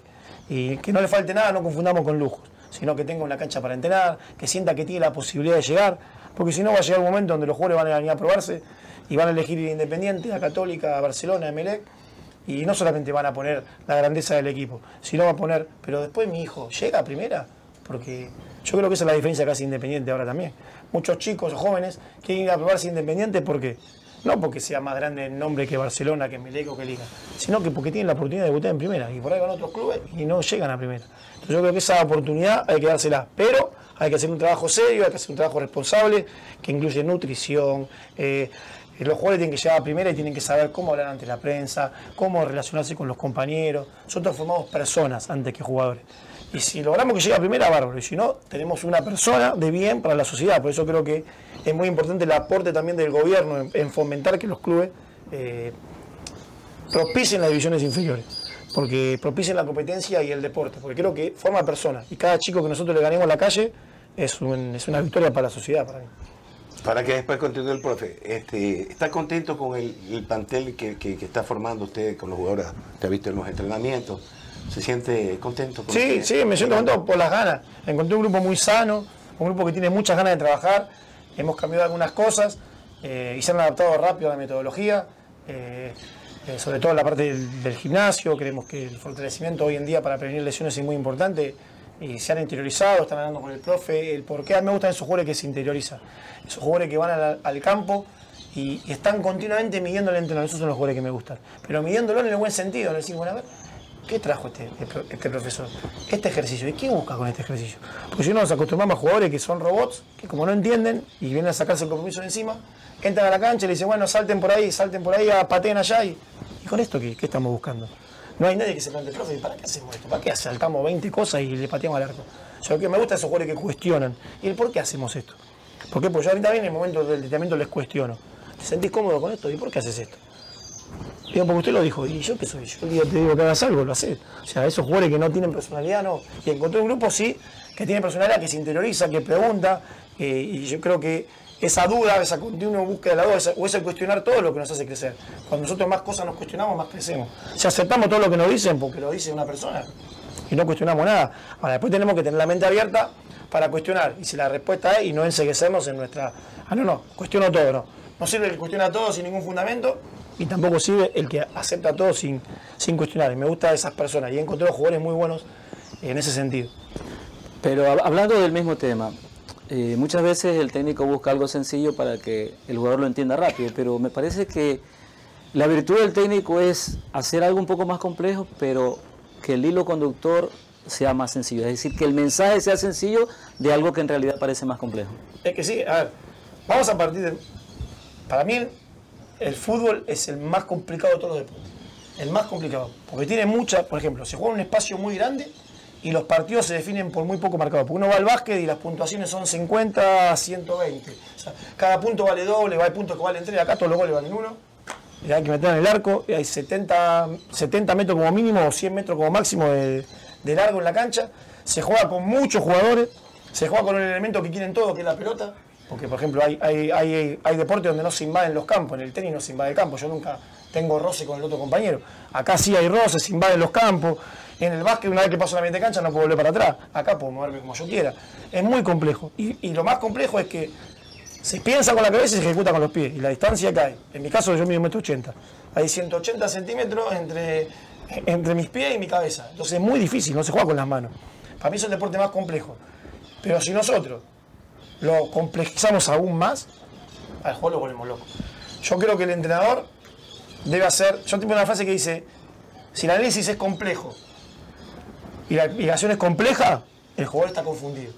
Si el análisis es simple y la explicación es simple, el jugador es básico. Pero si, el análisis es complejo y la explicación es simple, el jugador se potencia. Entonces, nosotros tenemos que hacer un análisis. El trabajo del entrenador no termina cuando termina el entrenamiento. Continúa. Porque debe analizar qué tiene que hacer el o- eh, al próximo día, qué viene en el entrenamiento que pueda mejorar. No tiene que mejorar lo mismo un jugador que otro. Cómo puedo potenciar a este. Cómo puedo juntar o hacer eh, superiores o sociedades que me den a mí un, un potencial, porque es otra virtud del fútbol. Yo no es un, un jugador 5 puntos. Ser un jugador 5 puntos, lo sumo y tengo que jugar 10 puntos. No. Por ahí tengo un jugador 3 puntos, porque no se conectan y bajan su nivel.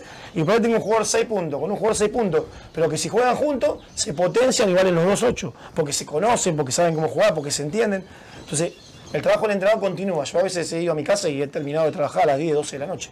El Hablando- trabajo del entrenador continúa. Hablando de ese trabajo, tengo entendido que usted le ha, ha hecho un seguimiento a los jugadores que tienen contrato, a los jugadores que se han ido, a los jugadores que están regresando. Y ha hecho un informe de cerca de 200 páginas. ¿Qué ha encontrado allí? ¿Cuáles son las fortalezas y debilidades de este grupo? Bueno, a ver, e- ese análisis que, que hicimos, lo hicimos basado en los partidos. Hicimos un análisis, por eso tiene tantas páginas, porque tampoco somos tan, tan complejos. Lo que quisimos ver es de cada jugador en qué posiciones podía jugar, más allá de la posición que, habitual. Siempre durante el partido los jugadores se van. Hay laterales que pasan más al ataque que otros, hay centrales que les gusta caer más a banda que otros, hay cinco que les gusta meterse entre los centrales y otros no. Posiciones alternativas. Eh, y después, en base a eso, depende de la posición, ver ciertos análisis técnicos sobre cómo despeja, cómo se perfila, para saber individualmente con qué plantel contamos. Además de cuando llegara el jugador, saber cómo es, de saber cómo es, poder hablarle. Y después, en cuanto a lo táctico, con qué sistema jugó el equipo, eh, cómo le fue con esos sistemas, cuando enfrentó a otros sistemas, eh, cómo se le convirtieron los goles. Por ejemplo, en ese análisis nos salió que el, si no me quiero no quiero decir el número exacto, pero alrededor del 48-49%, no, miento, 49-50% de los goles se le convirtieron de pelota parada. Entonces ya ahí había una falencia. Entonces investigar, porque es muy fácil decir, le hacen los goles de pelota parada. ¿Por qué? Por la manera en la que se marca, cómo vinieron la pelota, los, los goles de pelota. Vinieron de una pelota parada que hubo un segundo toque, que vinieron derecho. eh, ¿De dónde, de nació la falta? de dónde nació la falta, desatenciones en la, eh, en la defensa, eh, por la marca, o muchos. Entonces, eh, sabíamos que eso era uno, uno de los déficits. Lo mismo en los sistemas, con un sistema como un 4-2-3-1 o, o 4-4-2 se logró, aunque se jugaron menos partidos, mejor el resultado que con un 4-3-3. Entonces eso habla de que las características de los jugadores tal vez no eran para jugar ese sistema. Yo soy un entrenador que no me caso con ningún sistema. Eh, yo trato de que el sistema tiene el sistema tiene que potenciar a los jugadores. Si el sistema por eso los jugadores, la culpa es mía. Yo tengo que buscar un sistema que potencie a los jugadores, que no tiene nada que ver el sistema con la filosofía. Mi filosofía es una y el sistema es otro. La filosofía puede ser independiente de cualquier sistema. Porque una de las cosas que a mí me sorprendió acá, yo tenía un asistente en la 18 en Católica y me acuerdo que íbamos a. La 18 no tenía, la verdad, no tenía jugadores eh, para jugar 4-3-3, no tenía tantos volantes. Pero tenía muy buenos delanteros. Le dije, vamos a jugar 4-4-2. Y él dice, no, profe, 4-4-2 es defensivo. ¿Pero por qué es defensivo? ¿Y quiénes son esos 4-4? No, vamos a jugar 4-3-3. Yo puedo hacer un 4-3-3 y puede ser totalmente defensivo, ¿eh? Porque si yo pongo dos laterales y como extremo pongo dos laterales, es un 4-3-3 defensivo. Y yo pongo en el medio y pongo 3-5 que den garrote, es un 4-3-3, ah, pero juego 4-3-3, no, por eso.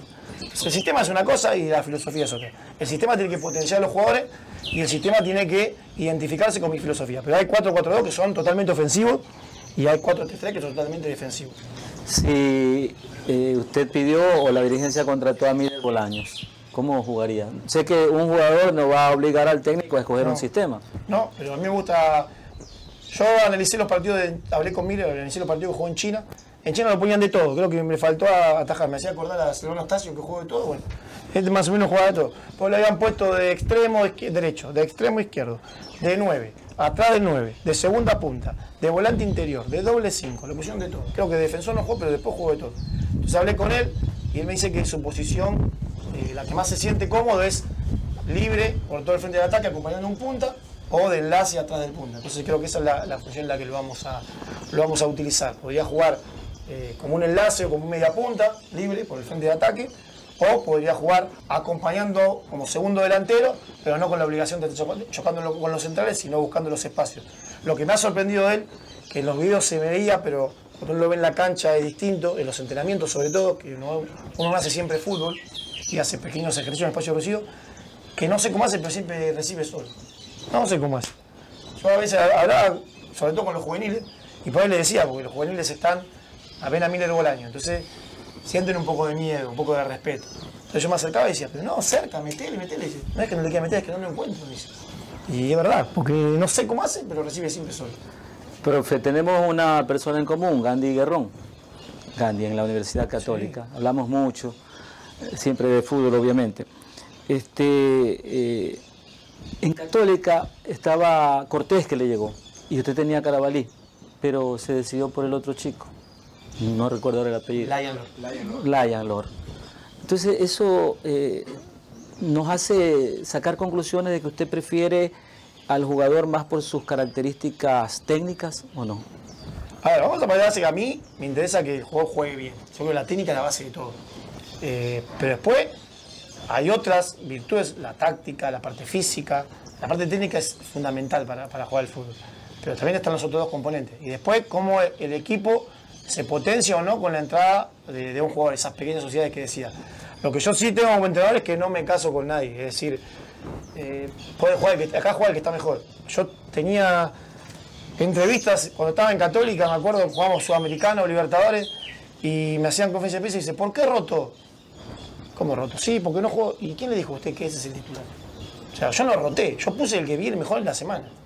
Eh, si usted analiza el último tramo, porque eso fue a principio de año y todo el mundo especulaba, no, pone titulares en la Copa y pone suplentes en el campeonato, está dejando el campeonato. Por ejemplo, Rivas asumió un rol de titular en algún momento y se quedó el colombiano Martínez Borja, por ejemplo, ¿no? Sí, y, y- y respondió. Y después volvió Martínez Borja.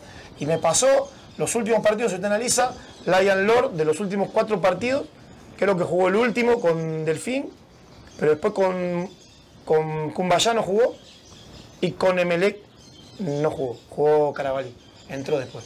Y uno dice, ¿cómo no lo pone Lion Lord? Todo el mundo decía que era el mejor lateral izquierdo, eh, eh, juega con suplente, no, no juego con suplente.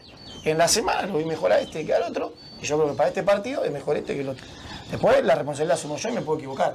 Pero acá yo no tengo 11 titulares, 11 suplentes y otros 11 que pelean a ver si pueden hacer o no.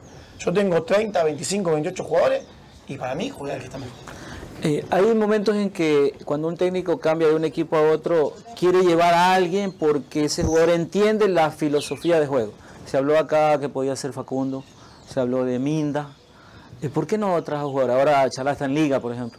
¿Por qué no trae jugadores que ya conocen su forma de trabajar? Bueno, quisimos traer, quisimos traer a Facundo, eso fue verdad, pero después Católica le ofreció un contrato por dos años y, decidió él quedarse ahí, está perfecto. Quisimos traer a al Sugaray y no se pudo, porque ya había cerrado con, con Liga de Quito.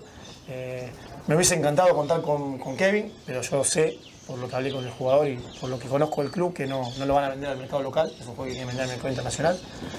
Pero después está la otra. Me hubiese gustado traerlo porque lo que son como jugadores. Salió campeón el equipo de Cuenca. Muy bien, ¿qué, qué nivel tiene Cuenca? Al otro año, che, ¿qué pelea? Cuenca está peleando el descenso. ¿Cómo pelea el descenso? Sí, era campeón. ¿Y, qui- quién está peleando el campeonato? Nacional. Y nosotros fuimos a un partido informativo nacional y estaba entrenando al femenino. Estas son todas las chicas de Cuenca. Ah, sí. Que se habían ido a con Nacional, se fueron con Wendy Villón al Nacional. Y después Wendy Villón se fue a otro lado y se llevó a todas las chicas. Y entonces, ¿cuál es mi capacidad como entrenador? Yo tengo que dar, si pudiera tener un jugador que, que- que sé que es, por sus cualidades, indispensable para, para una idea, bárbaro. Pero si no, yo tengo que tratar de convencer a los jugadores que tengo. Yo no. Esa es otra tiranía de los entrenadores que se está acabando. Con esto de la Secretaría Técnica, los directores deportivos. Nosotros ya damos, sí, este me gusta, pero después viene el club. Porque yo veo tres partidos y me voy y después el jugador se queda dos años. Entonces viene el, jugador, viene el entrenador y dice, yo quiero a estos 10. Listo. Y resulta que tuve una mala suerte, perdí tres partidos, me echaron, me peleé con el presidente, me echaron. Y con esos 10 jugadores, viene usted como entrenador y dice, ahora yo quiero otros 10. ¿Y con estos 10 qué hacemos? Pero yo creo que las decisiones tienen que ser conjuntas. Secretaría técnica, el entrenador debe dar su opinión, debe dar las características del juego que quiere, pero después el, el- el club tiene que incorporar jugadores que le rindan económicamente, que puedan tener valor de reventa, que sirvan para lo que quieren como proyecto. Entonces creo que ya la tiranía del entrenador se, se- se- se terminó ya. Somos uno más ahora. Nosotros acá estamos en el Polideportivo de Los Amanes, donde entrena el Club Sport MLE con su principal, el técnico Miguel Rondelli. Profe, en este tiempo que ha estado en el Ecuador, tiempo suficiente para descubrir algunas cosas, le, le pregunto por los aspectos de la preparación, la parte física, técnica, táctica y mental. ¿Cuál es la fortaleza de nuestro futbolista y cuál es la debilidad? A ver, yo tenía un preconcepto cuando vine, yo evalué el club que venía y tuve la suerte de, trabajar en Vélez con, con jugadores que han jugado acá, trabajé con Walter Pico que jugó acá en el Emelec, Compañero mío fue ah bueno. sí, bueno. y trabajé también con Guillermo Morici que jugó poco pero jugó en, en Barcelona. Barcelona, como dice. Eh, bueno, para que me explicaran cómo era, ellos me decían la diferencia de la Sierra y la Costa, yo juego en dos clubes de la costa, pero bueno, fui interiorizándome. Yo llegué con un preconcepto, claro, tal vez de la época que habían jugado ellos, y el futbolista ecuatoriano han, madurado, han mejorado. en varios aspectos. Entonces me llamó la atención. Eh, yo creo que tiene muchas, eh, muchas virtudes. Aparte de la virtud física, eh, eso no. Tiene virtudes técnicas muy buenas, he visto jugadores técnicamente muy buenos. Han evolucionado mucho en la comprensión del juego, pero yo no le echo tanto la culpa al jugador en, en ese sentido, sí a- al medio en el que se desarrolla. Yo creo que el jugador brasileño, el jugador argentino, eh, si bien el juego brasileño tiene otro estilo, tiene más cultura táctica o más cultura profesional de, estar habituado a, entrenar, porque tiene un proceso de formación más largo. El futbolista ecuatoriano siempre se dice, a mí cuando llegué me dijeron, el futbolista ecuatoriano madura tarde. Y es verdad, madura tarde. En Argentina poner un chico de 21 años, 22 años está en Europa. Y acá dicen, no, el pelado de 22 años. Y 22 años en Argentina, para mí no es pelado de 22 años. Pelado de 16. Y acá a los 22 sigue siendo un pelado todavía. Dice, no, porque madura tarde. Pero madura tarde por responsabilidad del medio, no del jugador. Porque en Argentina desde los 8 años se está trabajando en divisiones menores. Hay sub 8, sub 9, sub 10, sub 11, sub 12, sub 13, sub 14. Después no llegan, por ahí muchos. Pero el chico tiene otro hábito, está entrenando desde más- desde más chico, compite, que es lo más, porque para mí la competencia es fundamental, compite y esa competencia uno, ¿por qué dicen que es pelado? Porque no compite, entonces a los 22 piensa como un argentino de 18 por ahí, y ya a los 26 ya es más grande. Yo creo que hay que reestructurar las divisiones formativas. Yo creo que ya tener solamente 14, e- este año fue impares encima, fue 15, 17, 19 y 13. Cuatro categorías es muy poco. Cuatro categorías ya llegan al fútbol profesional. Lion Law llegó al fútbol profesional sin haber hecho categorías inferiores. Yo creo que debería haber más. Pero claro, más categorías es más gasto para los clubes. Que los clubes consigan un gasto y para mí es una inversión. Porque hay capacidad humana en cuanto a jugadores. Hay clubes que trabajan muy bien. Y sobre todo hay entrenadores que trabajan muy bien. No hay que traer ya españoles, argentinos, no. Es de los ecuatorianos que trabajan muy bien. Trabajan bien, pero pasa que el sistema los, los, les corta posibilidades. Porque si usted tiene cuatro divisiones por, por club, son cuatro entrenadores por club. Y usted recibe de la escuela de técnico 20 entrenadores. ¿Dónde coloca los otros 20? Y sumado a eso, después le traen un español, un argentino y un brasilero y ya le queda un solo ecuatoriano. Entonces creo que se está despreciando mucho talento. Yo creo que para que el entrenador crezca también, debe tener la oportunidad de formar jugadores. Entonces debe tener la oportunidad de trabajar. Y para trabajar debe haber más categorías y debe haber más competencia. Y también cambiado los formatos, porque a veces se puede trabajar mucho en divisiones menores, pero los chicos no juegan los partidos que necesitan. Usted hablaba de la Secretaría Técnica, se ha cambiado por la por un director deportivo, por la Secretaría. ¿Cuál es la función y quién está a cargo de la Secretaría? Bueno, yo le digo cómo trabajamos en Católica y cómo se quiere trabajar acá en Emelec, que es uno de, los proyectos que se tiene. Hay un director deportivo, que es el encargado de, coordinar toda el área deportiva. Porque imagínense, y más en un club como Emelec, el presidente José Piles. Él está sentado en su despacho y le toca la puerta en la comisión de vóley. Le dice, la cancha de vóley está rota. Y dice, "Oh, la cancha de está rota. Se va el de vóley y le golpea el de básquet. Y la cancha no tenemos pelota. Y se va y viene uno y dice, el de marketing, no tengo. Entonces yo creo que él debe estar haciendo su trabajo de presidente debe tener reuniones de directorio con diferentes departamentos que le digan, el básquet anda mal, el vóley anda mal. Listo. ¿Quién le, quién le lleva del fútbol? Por más que él pueda venir acá, le encanta el fútbol, ver los entrenamientos, él debe tener un director deportivo que es el que le dice, mira, estamos flojos acá, necesitamos esto, hacía falta más infraestructura acá, hablé con el entrenador y falta esto, tiene que ser un nexo. Pero ¿qué pasa con el director deportivo? Cuando tiene que hacer tantas cosas, no puede estar continuamente evaluando jugadores, porque acá por ahí todo el mundo se piensa que esta es época del libro de pases, y que ahora todo el mundo estaba viendo jugadores, vemos video, video, yo tengo la carpeta así llena de video. No, no es así. Uno tiene que prepararse. ¿Es suyo o mío? Les pido disculpas. Porque esto debe ser alguno que me quiere. Eh, ¿Saben quién es mi asistente que me quiere, ya me quiere llevar? Ahí ya no me llama. Les decía, no puede eh, ocuparse de todo o ver videos cuando falten dos días para incorporar. Hay que hacer un análisis durante todo el año. Entonces, termina el libro de pase y la Secretaría Técnica tiene que seguir trabajando para cuando se vuelve a abrir. En junio. Ya para junio, no empezar a trabajar en junio. Tiene que trabajar antes de junio. Entonces, la Secretaría Técnica está continuamente analizando, bueno, ¿qué tenemos en el plantel? ¿Qué tenemos en formativa? ¿Qué debemos buscar? Lo que yo puedo tener, eh, Emelec tiene, por ejemplo, en el análisis que hicimos estos días, dos laterales muy buenos por derecha. Tiene a Romelio Caicedo y a Brian Carabalí. Y después tiene un chico Castillo que juega en Rocafuerte, que yo lo enfrenté en reserva.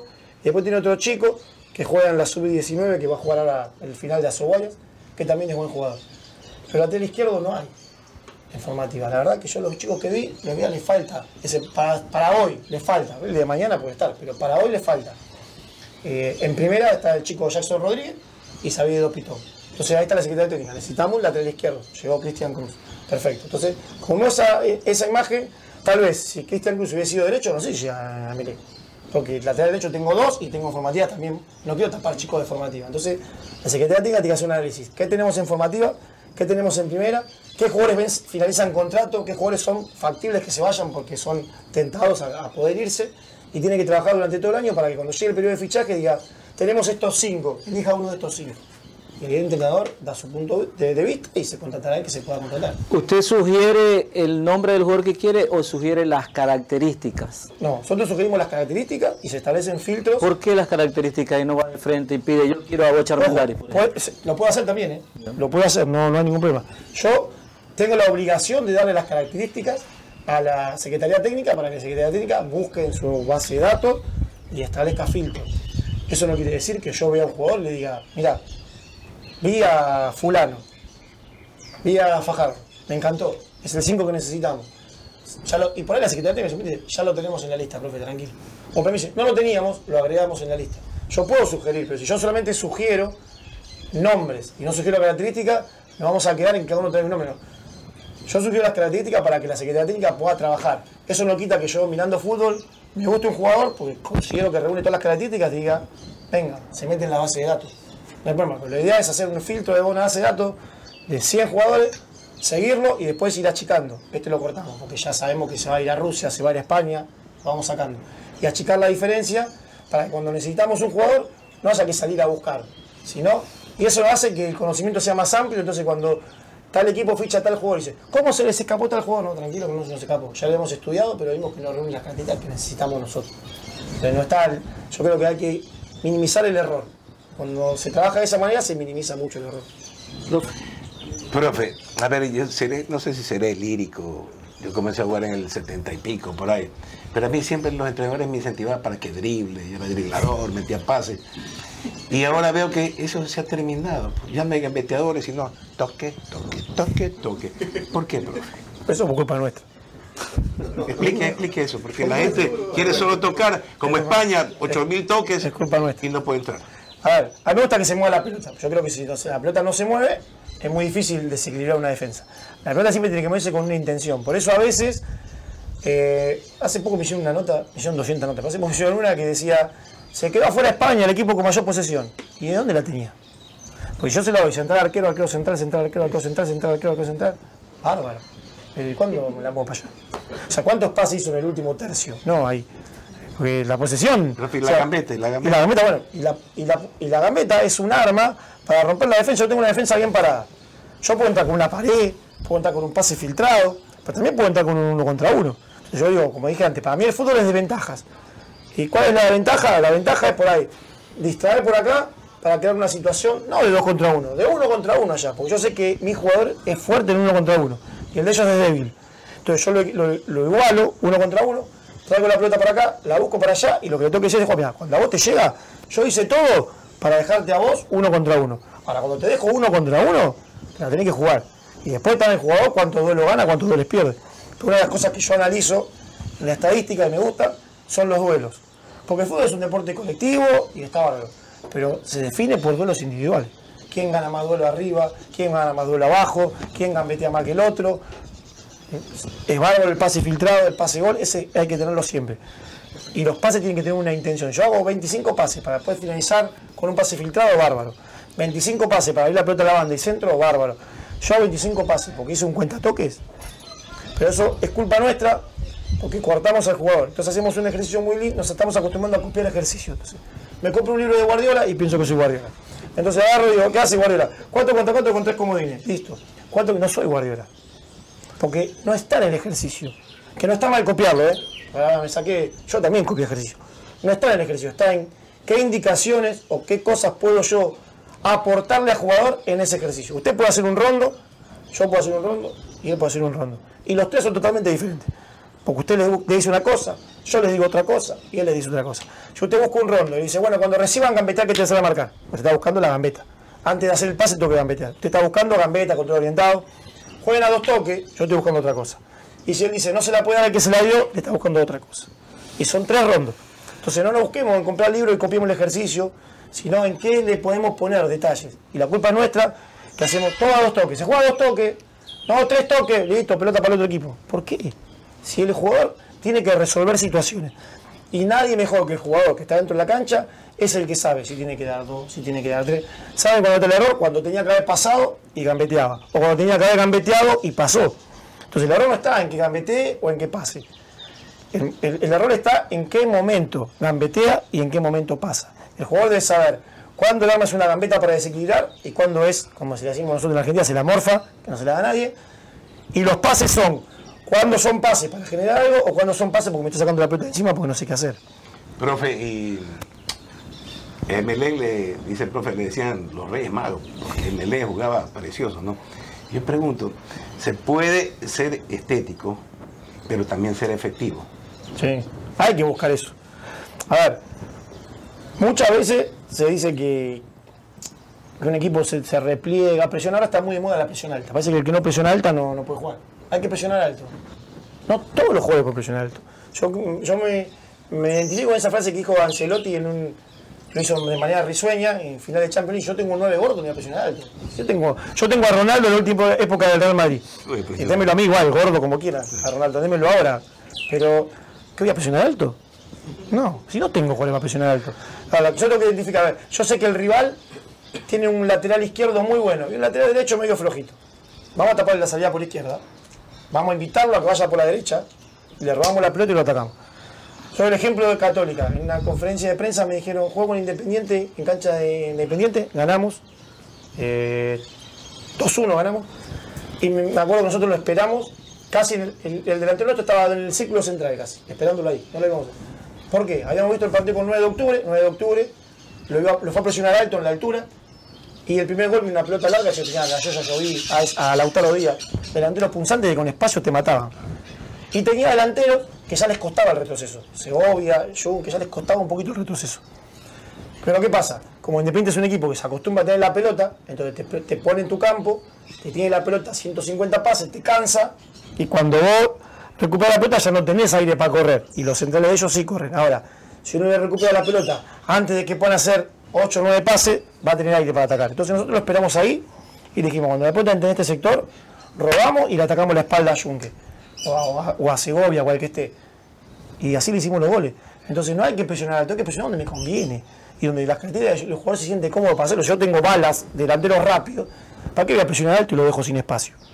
Entonces, eh, hay muchas modas que, que- ya te digo, gana Guardiola y somos todos guardiolistas. Gana Klopp y somos todos de Klopp. Gana Ancelotti y somos todos de Ancelotti. Vamos a ver cómo juegan los equipos y identifiquemos con una forma de jugar y juguemos. Pero sí hay que buscar la parte estética. Al hincha no le importa tanto si presionamos acá, si presionamos allá, si presionamos. Al hincha le importa que cuando la tenga un azul, se la dé un azul y que termine haciendo goles. Esa es la realidad. Oiga, profe, ya para ir cerrando, tantas cosas que uno escucha y ve en el fútbol. Por ejemplo, yo escucho que alguien dice, no, él, eh, dos, dos back derechos. No, él, de- él no puede jugar del centro para la izquierda. Y Rondelli puso a dos backs zurdos, izquierdos, que por lo general no, no se da. ¿Y cuál es el problema? Pues eso, le digo, hay que ir desmitificando mitos. El mito que yo le decía anteriormente, pasó el lateral, otro se queda. ¿Por qué? Porque yo quiero tener tres en el fondo. y Pasar los dos y dejar cinco, qué sé yo. Juego de cinco se puede quedar haciendo un triángulo o me dejan un solo nueve. ¿Para qué quiero tres? Entonces, que y otra cosa era esa, era, eh, no se puede jugar con dos zurdos. ¿Por qué? No, porque el zurdo, pero se puede jugar con dos derechos, sí. ¿Y por qué? Sí, se puede. Tiene que jugar los mejores, para mí tiene que jugar los mejores. Para mí sí, hay que trabajar mucho en formativa. No es lo mismo manejar las dos piernas que los dos perfiles. Son dos cosas diferentes. Yo puedo manejar las dos piernas bien, pero para él no sé perfilarme, no sé manejar los dos perfiles. Antes de manejar las dos piernas hay que aprender a manejar los dos perfiles. Porque uno hasta puede manejar la, derecha, pero manejar el perfil izquierdo, aunque no maneje la pierna izquierda. Y al revés. Y yo, Mosquera, nos dimos cuenta que era un jugador que no manejaba también la derecha, pero manejaba el perfil. ¿Qué significa? Que cuando llegaba la pelota, él acomodaba y no salía siempre para su perfil izquierdo, sino que salía para su perfil derecho, aunque después terminaba dando el pase con izquierda. Entonces hay que trabajar y eso se trabaja. Yo a veces, también en formativa pecamos de todo lo moderno es bueno y todo lo viejo es malo. Para mí todo lo viejo no es malo. Yo me acuerdo en formativa tenía profesores que peinaban cana, que me tenían dos solas contra el frontón. Frontón, frontón, frontón, derecha, izquierda, derecha, izquierda, con la cabeza. Con... Ah, eso es viejo. Hagamos una rueda de pase y la toca un chico, 20 haciendo cola. O sea, no todo lo moderno es bueno y no todo lo antiguo es malo. Yo creo que lo moderno va a mejorar lo antiguo. Si lo moderno no mejora lo antiguo, no sirve nada. O sea, el auto mejoró el caballo por un montón de cosas, pero si el auto mejora el caballo, la gente sigue andando en caballo. Entonces, la horca, yo no veo orcas y después no pueden cabecear. Los jóvenes no saben cabecear. Y nosotros teníamos la horca y pasábamos, y, ta, y cabeceábamos, y íbamos al frontón y ta, y corríamos como locos y después jugábamos y jugábamos y jugábamos, con más grande, con más chico, con las canchas. No, no tengo una buena cancha. Ah, Jugá igual, tengo una cancha, si antes se jugaba en cada postrero. Si tengo una buena cancha, mejor. Pero yo no puedo ser un buen jugador si tengo una buena cancha nada más. Igual, que ahora vas a ver cómo te pica mal y tenés que tener velocidad de repetición para poner el pie de otra manera. Otra cosa, yo me peleaba, cuando llegué acá, había muchos jugadores que paraban la pelota con el empeine. No, que la pare con el borde interno. Y yo hablo con el jugador y le digo, la paraba bien con el empeine, además que la paraba bien, no es que la paraba mal, no es que ponía el empeine y se le iba. Y le digo, ¿por qué para la pelota con el empeine? Me dice, profe, es que la pelota, yo estoy acostumbrado a jugar en cancha de tierra y la pelota me pica, entonces yo ponía el empeine y tenía mayor superficie para. Listo, es tu técnica, es tu técnica. La técnica tiene que ser efectiva, no estética. Y yo creo que a veces, por la modernidad, a veces damos tips que leemos, y por eso digo, a mí me gusta mucho hablar con la gente que juega al fútbol. Y había hablado con una, una persona que tiene el mismo apodo que usted, Bocini, que me decía, nene, el fútbol es fácil, me decía a mí. Vos te tenés que parar donde estás solo y se la tenés que dar donde estás solo. Y es verdad. Vos tenés que pararte donde estás solo y se la tenés que dar. O sea, ese es el concepto. Después, yo no le puedo agarrar a un chico de 8 años y decirle, mira, el fútbol es fácil. Vos te parás donde estás solo y se la das a un compañerito que está solo. No. Pero el fútbol es fácil, no lo compliquemos. Y yo ahora veo jugar a Miguel Bolaño y veo que hace lo que decía Bochini. Se para donde está solo y se la da a uno que no está marcado. Y no es tan difícil entonces. O sea, para los que saben Pero no difícil ¿eh? Por eso. eso, yo lo hago y no me sale. Pero para los que saben, entonces valoremos a los jugadores que saben, no a los jugadores que corren, meten, saltan y los que juegan. Si esto se juega. Muy bien, estamos llegando a la parte final. Profe, agradeciéndole por su tiempo, por su amabilidad. Eh, un mensaje para un mensaje de despedida para la hinchada azul, que está ávida de que ya venga la, la presentación en la explosión azul. Usted allí ya va a sentir lo que es la afición del MLE porque la casa va a estar llena. Bueno, a ver, para todos los hinchas de Melec que, que apoyen el, proyecto, que, es lo que necesitamos. Sé que vienen de, de varias temporadas que no han sido buenas, pero, pero, pero que apoyen, porque ya le voy a repetir, como dije antes, no puedo decirles, eh, vamos a ser campeones, Sudamericana, no. Nosotros venimos a trabajar y este equipo va a trabajar y va a matarse para que el hincha se sienta reflejado en lo que el equipo le demuestra desde la cancha y en trabajar para ser campeones. Entonces que nos apoyen, que yo creo que si hincha, jugadores, cuerpo técnico, dirigente, vamos todos al mismo lado, a la larga se va a lograr lo que tanto queremos, que es ese título que hace mucho que no se nos da y el título internacional también. Pero hay que apoyar, hay que apoyar y hay que entender el porqué de las cosas y que la Liga acaba de tener un cuerpo técnico y unos jugadores que se van a matar trabajando para dejarlo más